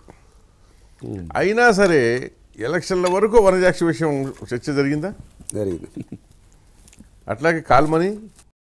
అసలు మీ ఇప్పుడు ఆ రోజు మీ పార్టీ వాళ్ళకి నిజంగా సంబంధం లేదు. అవును. అది ఇంకా ఇంకా చెప్పాలంటే ఇప్పుడు వైసీపీలో ఉన్న వాళ్ళతో వాళ్ళకే సంబంధం ఉంది. ఎస్ ఎస్ కానీ మీ మీరు దాన్ని మోస్తూనే పోయారు కదా ఎలక్షన్ వరకు. అదే వాళ్ళు ఏంటంటే వైసీపీ ఏంటంటే ఒక అసత్యాన్ని పట్టుకుంటే అది రిజిస్టర్ అయ్యేటువంటి విధంగా దాన్నే పదే పదే ఇప్పటికీ వనజాక్షి గురించి మాట్లాడుతూ ఉంటారు. ఈవేళ బందర్లో ఒక ఆమె ధనలక్ష్మి ఎవరు ఒక ఆమె వైసీపీ వేధింపులకి బలి చనిపోయింది. అవును. వనజాక్షి గారు బతికే ఉంది ఆవిడ మంచి మంచి పదవులు పొందింది బ్రహ్మాండంగా ఉంది ఆవిడ. కానీ మరి మీ వేధింపులకి వేళ ఒక ఆమె ధనలక్ష్మి అనుకుంటా బందర్లో ఈరోజు చనిపోయింది. మరి దానికి వీళ్ళు సమాధానం చెప్పలేరు. అంటే మీరు అన్నట్టు చాలా ఇష్యూస్. నెక్స్ట్ నా లాస్ట్ టైం కూడా నెల్లూరులో పాపం ఒక అధికారి ఇంటికి కరెంట్ కట్ చేసి వాటర్ కట్ చేసి అక్కడ వైసీపీ ఎమ్మెల్యే ఎంత దుర్మార్గంగా తెల్లవారుజాము నాలుగు గంటలకి పోలీస్ స్టేషన్కి వెళ్తే కేసు కూడా నమోదు చేసుకోకుండా అది కూడా మళ్ళీ మహిళా అధికారి. మహిళాధికారి అదే. అంటే ఇట్లా మాకేంటంటే ఎక్కువ కూడా అంటే సమస్యలు కూడా ఎక్కువ ఉండడం వల్ల వాటిని కూడా మేము ప్రొజెక్ట్ చేయడంలో ప్రజెంటేషన్ చేయడంలో కొంచెం ఒక్కొక్కసారి వెనకబడుతున్నట్టు అసలు ఆలో కూర్చుంటారా? మీరు మాట్లాడుకుంటారా జనరల్గా? డెఫినెట్ డెఫినెట్గా కూర్చుంటాం. కాకపోతే ఏంటంటే ఈ జగన్మోహన్ రెడ్డి వచ్చిన తర్వాత ఏమైందంటే అంటే ఒకటి కాదు రెండు కాదు సమస్యల మీద సమస్యలు తీసుకురావడం కూడా అతనికి స్ట్రాటజీగా ఉన్నట్టుగా అనిపిస్తూ అంటే ఉంది. చిన్న గీతం జరపడానికి పెద్ద గీత. ఎస్ మళ్ళీ వెంటనే ఈ ప్రాబ్లం పైన ఇంకా నెక్స్ట్ ప్రాబ్లంకి వెళ్ళడంలో కొంత అతను సేవ్ అవుతూ ఉన్నట్టుగా కూడా కనిపిస్తూ ఉంది. అసలు సక్సెస్ అయినట్టే గట రాజకీయంగా చూస్తే? అంటే రాజకీయంగా సక్సెస్ అవ్వచ్చు కానీ ప్రజల్లో మాత్రం ఇవన్నీ కూడా నిగూఢంగా ఉన్నాయి. ఇప్పుడు మన ఆంధ్రప్రదేశ్ రాష్ట్ర ప్రజలు తెలంగాణ లాగా ఇతర స్టేట్ల లాగా పెద్దగా రోడ్డు మీదకి రావడానికి. అసలు ఎక్కడా లేదులేండి అది పోయింది ఇప్పుడు కొంత- ఏపీలో మరీ ఎక్కువ ఎందుకంటే కొన్ని మైండ్ పాలిటిక్స్. ఏపీలో వాళ్ళని అసలు ఎవరు పసిగట్టం కష్టం ఈ జనాన్ని. ఒకసారి మీ జిల్లాలకి ఇప్పుడు వస్తే మీ కాలాలు ఉంటాయి కదా. గోదావరి నీళ్ళు వెళ్ళి ఒక అతను అడిగా మా లోకల్ మేనేజర్ ఈ కాలం ఎటు వెళ్తుందని తెలియదు కదా. మిగతా ప్రాంతంలో తెలియదు అలా ఫ్లాట్గా ఉంటుంది. ప్రవాహం కూడా ఎటు వెళ్తుందో తెలియదు అంటే అతను అన్నాడు ఇటు వెళ్తుందండి అన్నాడు. అని ఒక మాట అన్నాడు. మా జిల్లా వాళ్ళ మనస్తత్వం కూడా ఇట్టాగా ఉంటుందండి. ఏంటో తెలియదండి కరెక్ట్ కరెక్టే. బయట బయట చాలా గొప్పగా చెప్పాడు. అవును. కదా? అవునండి అవును బయట పడరు. లాస్ట్ మినిట్ వరకు అంటే ఎక్కువ అంటే కొంచెం టైం కూడా ఎక్కువ వేస్ట్గా ఉండకూడదు. అంటే మా వాళ్ళంతా కూడా అంటే ఊరికే కొంచెం ఎంత కష్టపడతారో అంత మళ్ళీ కొంచెం ఎంజాయ్ చేయడానికి ఖర్చు పెట్టడానికి ఇష్టపడతారు. ఈ- స్ట్రగుల్కి ఎక్కువ. ఇంట్రెస్ట్ చూపరు. అంచేత ఏంటంటే ఖచ్చితంగా ఇవన్నీ మాత్రం జగన్మోహన్ రెడ్డి మీద మాత్రం ఇవాళ తీవ్రమైన అసహనం ఉంది వ్యతిరేకత ఉంది. రేపు మళ్ళీ వాళ్ళు ఏంటంటే ఆ బ్యాలెట్ బాక్స్లో వేసేటప్పుడు మాత్రం వాడు చూపిస్తాడు. అంటే కొంత అనుకోవచ్చు. కొంతమంది ఇప్పుడు జగన్మోహన్ రెడ్డి కూడా మన ఏదో పంచాయతీలు ఎంపీడీఎస్లు మున్సిపల్ చెప్తాడు. కుప్పం కూడా కొట్టేశాడు. అదే. ఇప్పుడు అంటే అతను చెప్తాడు కానీ ప్రజలు నేను ఇందాక చెప్పిన మనస్తత్వం. ఇప్పుడు ఇతను ఒక రాక్షసుడు లాంటి పరిపాలన ఉంది. ఇది పెన్షన్ కట్ చేస్తా రేషన్ కట్ చేస్తా అని బెదిరింపులు. ప్రతి యాభై కుటుంబాలకి ఒక పోలీస్ మాదిరిగా ఒక వాలంటీర్ని కాపలా పెట్టాడు. అంచేత వీటన్నిటిని ఎందుకు ఇప్పుడు ఇక్కడ ఈ కౌన్సిలర్ని ఓడిస్తాం లేకపోతే ఈ మున్సిపాలిటీని ఓడిస్తాం? కానీ ఇంకా రెండు మూడు సంవత్సరాలు ఈ- ఈ బారిని పడాలి. దాని బదులు ఎందుకు ఆడిగా ఓటేసి వదిలేస్తే చూసుకోవచ్చులే? అంటే జగన్మోహన్ రెడ్డి పీఠం కదపడానికి అవకాశం ఇస్తే మాత్రం ఖచ్చితంగా వందగా వంద శాతం వాళ్ళు నిరూపిస్తారు రేపు పొద్దున ప్రజలు హండ్రెడ్ పర్సెంట్. ఎమర్జెన్సీ టైంలో ఎట్లా అవుతుంది? Hundred percent. అప్పుడు కూడా ఈ వాలంటీర్లు ఉంటారు? అప్పుడు కూడా ఇదే పోలీసు ఉంటుంది? ఉంటారు. కానీ ఇప్పుడు కొంత కొంత చేంజ్ వస్తూ ఉంది. ఇప్పుడు పోలీసు కూడా మమ్మల్ని first one year two years చూసాం. అసలు మమ్మల్ని అడిగేటనే వాళ్ళ. అసలు బయటకు వస్తే చాలా హౌస్ అరెస్టులు. ఎక్కడికక్కడ దారిలో ర్యాలీలను అడ్డుకోవడం పర్మిషన్ లేవని కోవిడ్ నిబంధనలని. ఇప్పుడు నాకు ఎప్పుడు రెండు వేల పంతొమ్మిదికి ముందు ఒక్క కేసు కూడా లేదు నా మీద. రెండు వేల పంతొమ్మిది నుంచి ఇప్పటి వరకు ఈ త్రీ ఇయర్స్లో పద్దెనిమిది కేసులు పెట్టారు. పెట్టారా మీ మీద? పద్దెనిమిది కేసులు. అంటే. ఎప్పుడు- అంటే పర్లేదు. అంటే ఎప్పుడు అరెస్టులు చేయలేదు. అంటే ఇవే అంటే మరీ ఏదైనా పెద్ద మనుషులే పాపం బాగోదు అని చెప్పి చేసి ఉండరు అంటే ఇప్పుడు ఇప్పుడు సపోజ్ అంటే అన్యాయమైన కేసులు. ఇప్పుడు డీజీపీకి ఇప్పుడు చంద్రబాబు నాయుడు గారి ఇంటి మీద దాడి జరిగినప్పుడు డీజీపీ గారికి వెళ్తే మా మీద కేసు పెట్టారు. దానికి మేము ఎట్లా బాధ్యత వహించగలుగుతాం? యాజ్ ఎమ్మెల్యే కానీ డీజీపీ ఆఫీస్కి నేను వెళ్ళి రిప్రజెంటేట్ చేయడానికి వెళ్తే అది కేసు. ఇప్పుడు ఎక్కడ రాజమండ్రిలో ఆవాభూములు వాళ్ళు నిజంగా కోట్ల రూపాయలు దుర్వినియోగం చేస్తూ ఉంటే అది ఫైన్ కమిటీ కింద మేము వెళ్తే అక్కడ ఒక కేసు. తిరుపతి వెళ్తే అక్కడ ఒక కేసు. కుప్పం వెళ్తే అక్కడ ఒక కేసు. అంటే ఇట్లాంటి కేసులు అంటే అంటే ఉండేది. కానీ నేను తెలిసిన వరకు ఇప్పుడు పోలీసులో కూడా చాలా చేంజింగ్ వస్తూ ఉంది. వాళ్ళు కూడా ఇండైరెక్ట్గా చెప్తూ ఉన్నారు. ఇంకా ఈ పని అయిపోయిందని చెప్పేసి. గవర్నమెంట్ పని అయిపోయింది. మాట్లాడుతున్నారా? మాట్లాడుతూ ఉన్నారు. ఖచ్చితంగా అధికారులు అయితే ఆయన జగన్మోహన్ రెడ్డి చేంజ్ తీసుకొచ్చాడు. మేము. తీసుకురాక్కర్లేకుండానే ఓకే. ఆయన జగన్మోహన్ రెడ్డి గారే మొన్న ఏదైతే వాళ్ళ పిఆర్సీలో కానీ ఆ స్కేల్లో కానీ. ఆ ఫిట్మెంట్లో కానీ ఏదైతే ఆయన్ని నమ్ముకొని ఎబ్బడి ముబ్బడిగా చేత్తో ఎడం చేత్తో వేసారు అంచేత ఆయనే జగన్మోహన్ రెడ్డి ఏంటనేది వాళ్ళకే చూపించాడు. ఇంకా క్రింది స్థాయిలో ఎవరైతే ఇప్పుడు ఆశా వర్కర్స్ అంగన్వాడీ టీచర్స్ బీమా workers VRAs outsourcing contract అంటే వీళ్ళు చిన్న చిన్న ఎంప్లాయీస్ కానీ నంబర్ ఎక్కువ ఉంటారు. ఎక్కువ ఉంటారు. ఎక్కువ మంది పబ్లిక్తో చెబుతున్నా చెవిలో జోరేగలాగా అందరు ఇళ్ళకెళ్ళి రోజు ముప్పై నలభై కుటుంబాలతో కాంట్రాక్ట్లు ఉంటారు. వాళ్ళ కూడా డిస్సాటిస్ఫికేషన్ ఎందుకంటే ఆ రోజు చంద్రబాబు నాయుడు గారు వాళ్ళకి అందరూ కూడా శాలరీస్ బాగానే పెంచాడు ఉన్నంతలో. ఇప్పుడు సో ఆ రోజుని. ఇప్పుడు ఆశా వర్క్కి అసలు శాలరీ ఉండేది కాదు. ఈయన వచ్చిన తర్వాత శాలరీ పెట్టాడు. డోక్రా సీఎల్కి శాలరీ ఉండేది కదా. ఈయన పెంచి పెట్టాడు. ఇప్పుడు ఈవేళ పదివేల ఐదు వందలు అంగన్వాడీ తీసుకున్నారంటే చంద్రబాబు నాయుడు గారు ఇచ్చింది. ఇతను వెయ్యి రూపాయలు పెంచాడు అంతే. ఆ రోజు నాలుగు వేల ఐదు నుంచి పదివేల ఐదు వందలు పెంచాం అంటే ఇట్లా వాళ్ళు కూడా రిలైజ్ అయ్యారు ఇప్పుడు. అంటే అప్పుడు ఏంటంటే చంద్రబాబు నాయుడు కానీ మీకు ఇదే థ్రెట్ వాళ్ళు అప్పుడు కూడా చేస్తారు కదా. ఇప్పుడు మీకు రేషన్ ఇప్పుడు వేయకపోతే రేషన్ కట్ చేస్తాం మేము మళ్ళీ వచ్చి అని అన్నారనుకోండి వాలంటీర్లు. మంచి పాయింట్. ఇప్పుడు రేషన్ కట్ చేస్తాం పెన్షన్ కట్ చేస్తాం అని బెదిరిస్తారు కదా.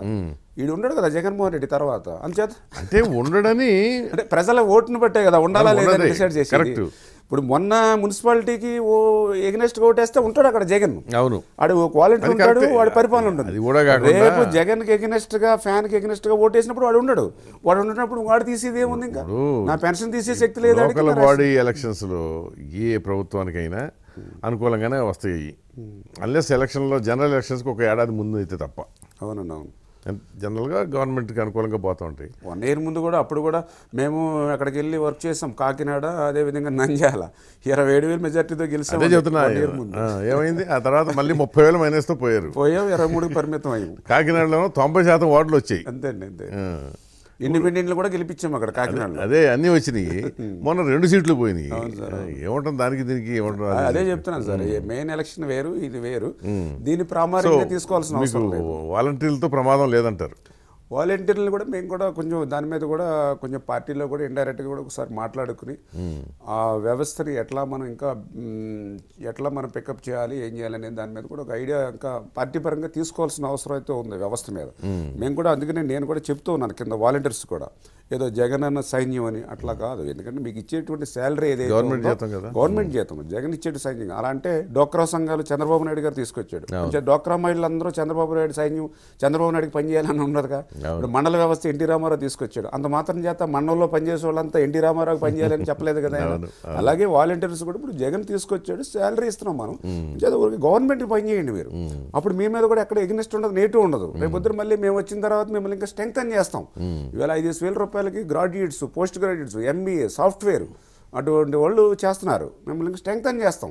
చేత నెగిటివ్ ఎగ్నెస్ట్ తెచ్చుకోవద్దని నేను కూడా వాలంటీర్స్ కూడా నేను కూడా చెప్తూ ఉన్నా. ఐదు వేలకి చేస్తున్నారంటే దాన్ని మీరు పాజిటివ్గా తీసుకుంటారా నెగిటివ్గా తీసుకుంటారా? అంటే కొంతమేర ఏంటంటే గ్రామీణ వాతావరణంలో కానీ క్రింది స్థాయిలో కానీ ఈ ప్రభుత్వం వచ్చిన తర్వాత ఎంప్లాయ్మెంట్ అనేది మొత్తం పోయింది. ఎక్కడ కూడా ఇటు గవర్నమెంట్ ఏదైతే రెండు లక్షల ముప్పై వేలు ఉద్యోగాలు వేస్తామన్నాడు ఈ మూడు సంవత్సరాలు ఒక ఉద్యోగం వేయలేదు జనవరి జాబ్ క్యాలెండర్ అన్నాడు అది లేదు. ఈ మూడు సంవత్సరాలు డిఎస్సి లేదు. పోనీ ఏదో గవర్నమెంట్ పోతే పోయినాయి ఏదైనా ప్రైవేట్ ఉద్యోగాలు ఉంటాయి? అట్లా కాదు. నేను అవన్నీ పోయినాయి అట్టగా వదిలేయండి. పల్లెటూరులో వ్యవసాయం చేసేవాళ్ళు పిల్లనట్ల ఎస్ సో వ్యవసాయం చేసేవాడికి ఈ ఐదు వేల కంటే ఎక్కువ ఆదాయం ఉంది. చాలామందికి. ఈ వాలంటీర్లు పిల్లనిస్తున్నారా ఇప్పుడు? అంటే వాలంటీర్ అనేటప్పటికీ కొంచెం మీరు అనుకున్నంతగా సమాజంలో అయితే అంత సరైనటువంటి అంత గౌరవం ఏమీ లేదు. అంటే నేను అసలు ఊరికే నేను అంటే వాస్తవమే సార్ వాస్తవమే. వేరే ఉద్దేశంతో కాదు. ఇప్పుడు అంత డైమెన్షన్స్ మారిపోయి ఆడపిల్లల ఆకాంక్షలు కూడా మారిపోయాయి. అవునండి. ఇప్పుడు హైదరాబాద్లో పదివేల రూపాయలతో ఏ పిచ్చి ఉద్యోగం చేసినా ఇక్కడ చేసుకోవడానికి ఇష్టపడుతున్నారు కానీ పది మందికి ఏ పూట వచ్చినా భోజనం పెట్టగలిగే స్థితిలో ఉన్న ఊళ్ళో వాడికి మాత్రం చేసుకోవడానికి ఇష్టపడలేదు కదా. అంతే అంతే సార్ అంటే వాలంటీర్ ఏంటంటే ఇప్పుడు అతను ఏదో ఎంప్లాయీగా ఐదు వేలు వస్తున్నాయి అనే దాని మీద అతను కాకుండా మళ్ళీ సెకండరీగా అతనికి బ్యాక్గ్రౌండ్ ఏంటి ఆస్తులు ఏంటి ఇతరితర రేపు పొద్దున మేము ఇస్తే పిల్లనిస్తే పోషించగలదా లేదా? అది చూస్తున్నారు. అంతే అది చూస్తారు తప్ప కేవలం ఇతను వాలంటీర్ ఒకవేళ సపోజ్ గవర్నమెంట్ మారితే వాళ్ళు పీకేయచ్చు. ఎస్ ఎవరిష్టం వాళ్ళది కదా. గవర్నమెంట్ మారకూడా మారపోక్కర్లేదు కూడా. ఎమ్మెల్యేకి ఇష్టం లేకపోయినా పీకేస్తారు కదా. అంతే. అంటే కొంత వాలంటీర్ ఏంటంటే కొంత సర్వీస్ ఓరియంటెడ్లో కొద్దిగా వర్క్ చేస్తే సెల్ఫ్ సాటిస్ఫాక్షన్ ఉంటుంది. అంటే సపోజ్ యాభై కుటుంబాల్లో ఎక్కడైనా పెన్షన్ లేని వాళ్ళకో రేషన్ లేని వాళ్ళకో లేకపోతే వాళ్ళ అవసరాలు తీరిస్తే వాళ్ళ అది అది చాలా గొప్ప పనే. అసలు ఇది వరకు ఈ డబ్బులు లేకుండా కూడా చేసేవాళ్ళు చేశారు. ఇప్పుడు అట్లా కొంతమంది పని చేస్తూ కొంచెం వాళ్ళు సెల్ఫ్ సాటిస్ఫాక్షన్ తెచ్చుకుంటున్నారు. కాకపోతే ఇప్పుడు వాలంటీర్స్లో కూడా నేటివ్ కనిపిస్తుంది గవర్నమెంట్ మీద. ఎందుకంటే నేను కూడా క్రింది స్థాయిలోకి వెళ్తుంటే ఏంటి సార్ అన్యాయం ఆ ఇంట్లో పంప పేదవాడు ఎప్పుడో రెండు వందల రూపాయల నుంచి పెన్షన్ వస్తూ ఉంది ఈరోజు పెన్షన్ పీకేశారు కరెంట్ బిల్ ఎక్కువ వచ్చిందని నిజంగా వాళ్ళకి ఇది ఏమీ లేదు అని వాలంటీర్ మాకు కంప్లైంట్ చేస్తూ ఉంది ఇట్లా అయితే ఎట్లాగని అంటే అట్లాంటి ఎవరు ఇప్పుడు కారు ఉంది పెన్షన్ తీసేశారు.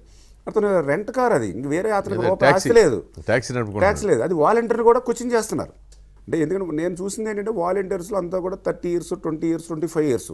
జనరల్గా ఏజ్ పీపుల్ ఏంటంటే సమాజం అంటే ఇంట్రెస్ట్ ఉంటుంది.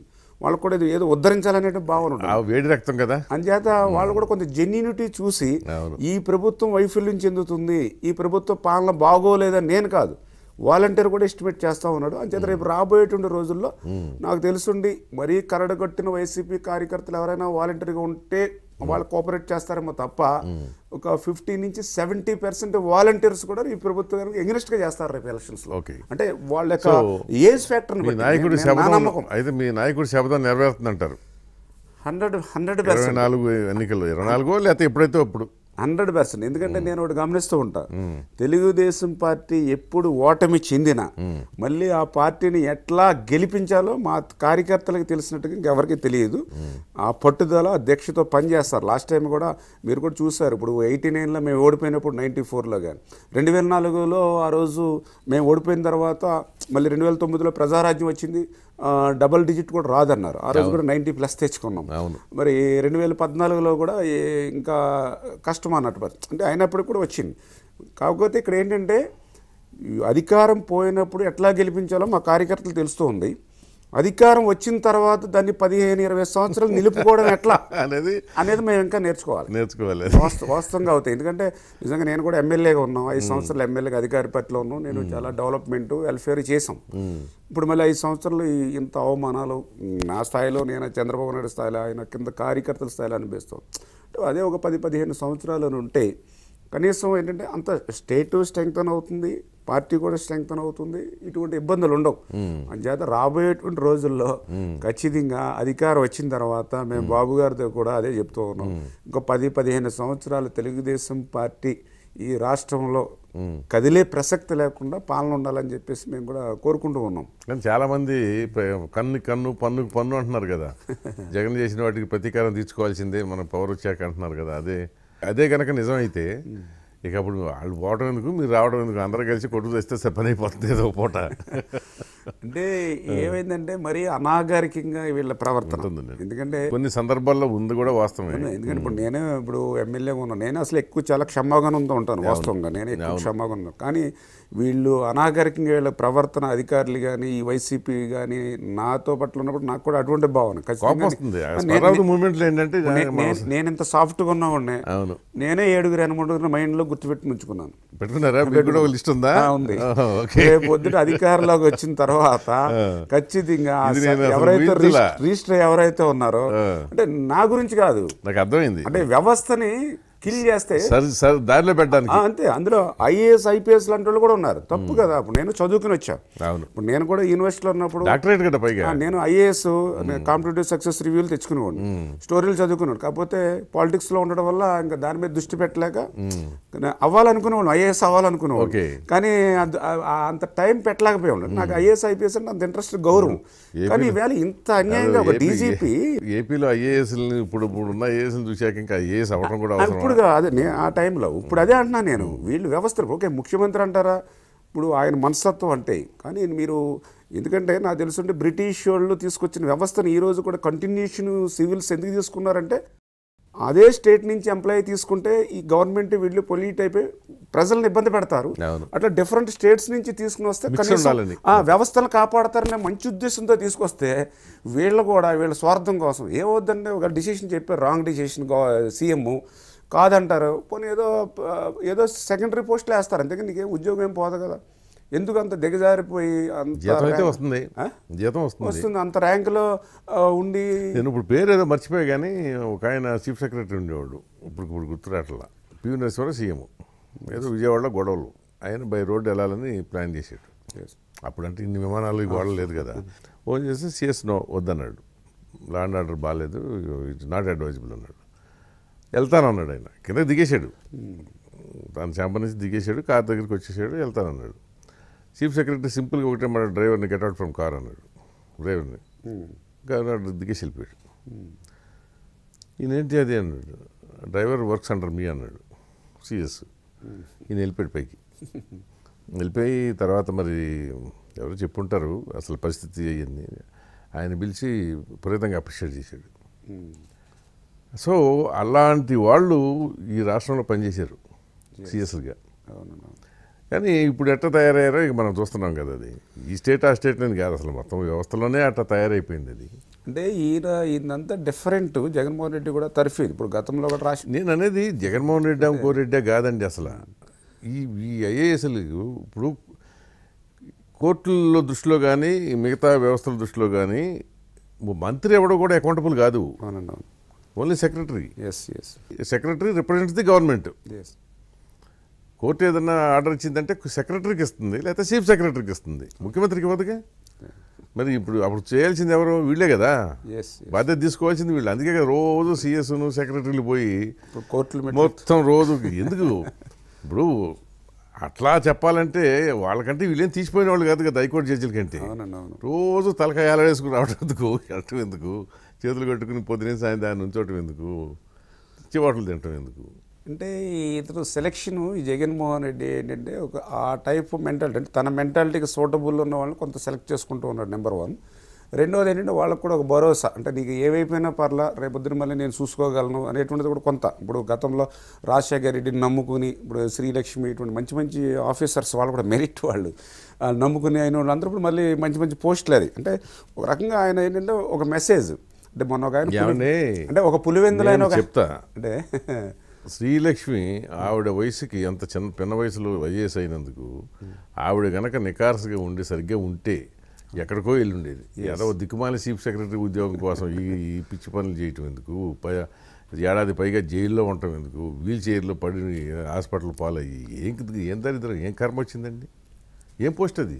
అవును సార్ ఏ మున్సిపల్ సెక్రటరీ కదా కదా కూడా ఆవిడ? అంతేనా? ఇప్పుడు మళ్ళీ సిఎస్ అన్నారు కానీ మరి ఇంకెప్పుడు ఏమి ఇప్పుడు ఏదో సదాశివ గోడ్లింగంలో బోడ్లింగం అన్నట్టు ఈ సిఎస్ పరంపరలో ఆవిడ ఒక సిఎస్ అయితే అవుతుంది. ఏంటంటే ఆ సిఎస్? ఇదివరకు సిఎస్ అంటే సిఎస్ఏ. అంతే. వీళ్ళు కోర్టులు మెట్లు మెట్లు. ఇప్పుడు DGP home guard CS attender లాగా తయారైతే ఇంకా దానికి విలువ ఏమిటి చచ్చింది ఇంకా అది? లేదండి. అట్లా అట్లా అందుకని అదేంటంటే అది వ్యవస్థని పునరుద్ధరించితేనే మీకైనా కూడా రేపు అవునండి. ఓకే ఈ గవర్నమెంట్ మారింది వ్యవస్థలకి వాటికి ఉన్న ఔన్నత్యం నిలబడింది అనేది వస్తేనే మంచి పేరు వస్తుంది. ఎస్ మీరు అన్నట్టు పదేళ్ళు ఉంటామా పదిహేను ఏళ్ళు ఉంటామా ఇరవై ఏళ్ళు ఉంటామా అది కాదు ముఖ్యం. ఓకే. ఉన్నప్పుడు ఏం చేసాం అంతే కదా ఇప్పుడు ఊళ్ళల్లో మనం ఏమంటారండి ఎంతకాలం బతికామని కదరా బతికినప్పుడు ఎట్లా బతికావు? అవునండి అవును. అనేదే కదా అడుగుతారు. అంతే. సింపుల్ అదే. సో ఇప్పుడు మీరు ఇందాక ప్రజారాజ్యం వస్తే మీరు ప్రజారాజ్యంలో అప్పుడు ఎందుకు ఒకలా ఎందుకంటే కాపు సామాజిక వర్గం నుంచి చాలా మంది వెళ్ళారు కదా అప్పుడు. అవును సార్ మీకు మీరు ఎందుకు వెళ్ళాలా? పైగా ఆ రోజు రెండు వేల తొమ్మిది చిరంజీవి గారు మా పాలకుల నుంచి పోటీ చేశారు. ప్రజారాజ్యం పార్టీతో. ఆయన ఓడిచ్చారు పైగా మీరంతా. అంటే అప్పుడు నేను తెలుగుదేశం పార్టీలో చెప్పాం అంటే ఇప్పుడు మేమేంటంటే కమ్యూనిజం భావాల నుంచి వచ్చాము. సరే కమ్యూనిస్ట్ పార్టీలో ఉంటే మన అసెంబ్లీలోకి అంటే ఇంట్రెస్టే కానీ ప్లాట్ఫారం వెళ్ళలేమని ఉద్దేశంలో Telugu Desam party the right platform అని తెలుగుదేశం పార్టీలోకి వచ్చాం. టూ థౌజండ్ సెవెన్లో నేను మహానాడులో జాయిన్ అయిన తిరుపతి. నైన్కి ప్రజారాజ్యం వచ్చింది. మీరు చెప్పింది హండ్రెడ్ పర్సెంట్ కరెక్ట్. ఆ రోజుకి ఏంటంటే బాబ్జీ గారు చాలా స్ట్రాంగ్ నైన్కి ఆయన కంటెస్ట్ కూడా చేశారు.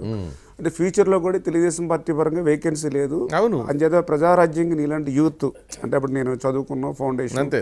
అందుకదా అప్పుడు మా జనరేషన్ కూడా బాగా అట్రాక్ట్ అయ్యి వెళ్ళిపోయారు అప్పుడు మా పార్టీలో ఉన్నటువంటి ఇంపార్టెంట్ లీడర్స్ కూడా అప్పుడు సుబ్బారాయుడు గారు కోటగిరి ఇప్పుడు వీళ్ళు కూడా ప్రజారాజ్యంకి వెళ్ళిపోయారు అవును. నాకు కూడా ప్రజారాజ్యంలో అప్పుడు కొంచెం డీల్ చేసి ఇప్పుడు తులసి గారిని మా బావగారే ఈ అంటే నర్స్పూరు ఈ చిరంజీవి గారికి నాగబాబు గారికి క్లోజ్ అప్పుడు జిల్లా కూడా చూసి కూడా ఆయన అంటే అది ఈ స్ట్రక్చర్ అంతా ఉంది. కానీ ఏంటంటే నేను మొదటి నుంచి చెప్తున్నాను కదా ఒక సిద్ధాంతాన్ని నమ్ముకున్నప్పుడు ఇది కరెక్ట్ అని నేను అనుకున్నప్పుడు డివేట్ అవ్వకూడదు. ఆ రోజు నాకు మీరియా వెంకటరావు గారు కూడా ఫోన్ చేసి ఎందుకంత గట్టిగా పనిచేస్తూ ఉన్నారు మీరు పాలకుల్లో చిరంజీవి గెలవకపోతే అట్లా చిరంజీవి గెలిస్తే రేపు సీఎం అవుతాడు కదా ఎందుకు మీరు అట్లా అని ఆయన కూడా అప్పుడు కాపునాడు అధ్యక్షులు నేను వైజాగ్లో ఉన్నప్పుడు పరిచయం. నేను కూడా ఆయన ఒకటే చెప్పా ఇప్పుడున్న పొజిషన్లో అప్పుడు ఏంటంటే ఒక సిక్స్టీ వస్తాయేమో క్యాలిక్యులేషన్ అంటే ఆయన శ్రీకాకుళంలో స్టార్ట్ చేసినప్పుడు వన్ సిక్స్టీ అన్నారు. ఆ నేను అప్పుడు ఆయనతో మాట్లాడటానికి ఏంటంటే ఒక సిక్స్టీ వస్తాయి అనుకున్నారు అది సరే ఎలక్షన్ వచ్చి పద్దెనిమిది వెళ్ళిపోయింది అనుకోండి. నేను చెప్పా ఆయన అవ్వలేడు. కానీ మా బాబ్జీ గారు గెలిస్తే మాత్రం ఖచ్చితంగా ఆయన మంత్రి అవుతాడు. ఈయన కూడా కాపే కదా. కాపు సమాజం మీరే వెంకటరావు కాబట్టి చెప్పాను నేను. ఇదేనా మన వాళ్ళతో వచ్చిన తంట? ఇంకా ఆయన. ఫోన్ పెట్టేశాడు. కానీ నిజంగా ఆ రోజు నేను పార్టీకి లాయల్గా నిలబడి తొమ్మిదిలో పనిచేశాం కాబట్టి పద్నాలుగులో కార్యకర్తలు యాక్సెప్ట్ చేశారు. అదే నేను తొమ్మిదిలో తప్పుడు అడుగులు వేస్తుంటే ఈరోజు ఈ జెన్యూనిటీ ఉండదు. అవును. నాకు ఇక్కడ ఉండదు. అంటే అందుకనే రాజకీయాల్లో నిలకడ ఉండాలి నిలకడ ఉండాలి. తప్పులేదు పోలే ఏవద్దు ఇప్పుడు మేము అధికారం పోగొట్టుకున్నాం. ఇది కూడా ఒక లెసన్. తప్పే ఉంది. ప్రజల్లో సమస్యలు కష్టాలు ఏమున్నాయో తెలుసుకోవడానికి ఇది ఒక ప్లాట్ఫామ్ అనుకుంటున్నాను నేను. లెసన్ కాదు. ఇది ఒక మంచి అవకాశం. మీరు మొదటిసారి ఎమ్మెల్యే అయినప్పుడు ఎవరికి తెలుసు? తెలియదు ఎంతమంది తెలుసు అండి పాలకొల్లు దాటితే ఎవరికైనా తెలుసా? అవునండి అవును తెలియదు. కానీ ఇప్పుడు అపోజిషన్లోకి వచ్చిన తర్వాత ఉపనాయకుడు అయిన తర్వాత అసెంబ్లీలో మీ పర్ఫార్మెన్స్ చూసిన తర్వాతే కదా మిమ్మల్ని మీలో టాలెంట్ ఉంది మీకు వాక్చాతుర్యం గొప్పది కాకపోయినా మీకు సబ్జెక్ట్ ఉంది పట్టు ఉంది ప్రభుత్వాన్ని ఏడిపించగల శక్తి ఉంది అని నమ్ముతున్నారు? అవునండి అవును. సో ఈ షోకి మేము పిలిచామన్నా కూడా అంతే కదా? అంతే సార్ అంతే అంతే. Hundred percent.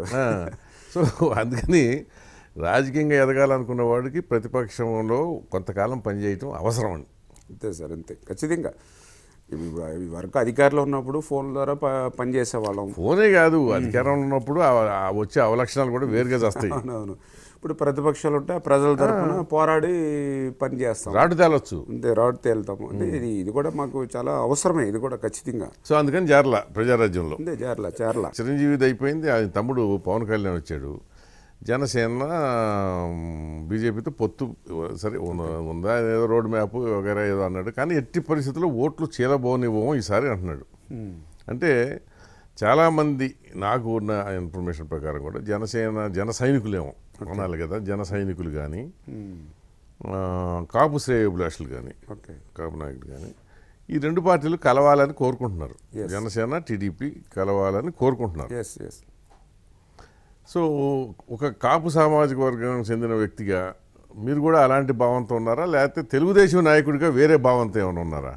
ఇది రెండు పాత్రలు మీ అంటే ఏదేమైనా ఒకటి రేపు జగన్మోహన్ రెడ్డిని గద్దె దింపాలి. అంటే ఈ రాష్ట్రం కోసం ఈ రాష్ట్ర ప్రజల కోసం నెంబర్ వన్. దానిలో ఏదైతే ఈవిడ తెలుగుదేశం పార్టీ పరంగా మొన్న లాస్ట్ టైం రెండు వేల పంతొమ్మిది ఎన్నికలు ఏవైతే జరిగినాయో ఆ రోజు నలభై శాతం ఓట్లు తెచ్చుకున్నటువంటి పార్టీ తెలుగుదేశం పార్టీ.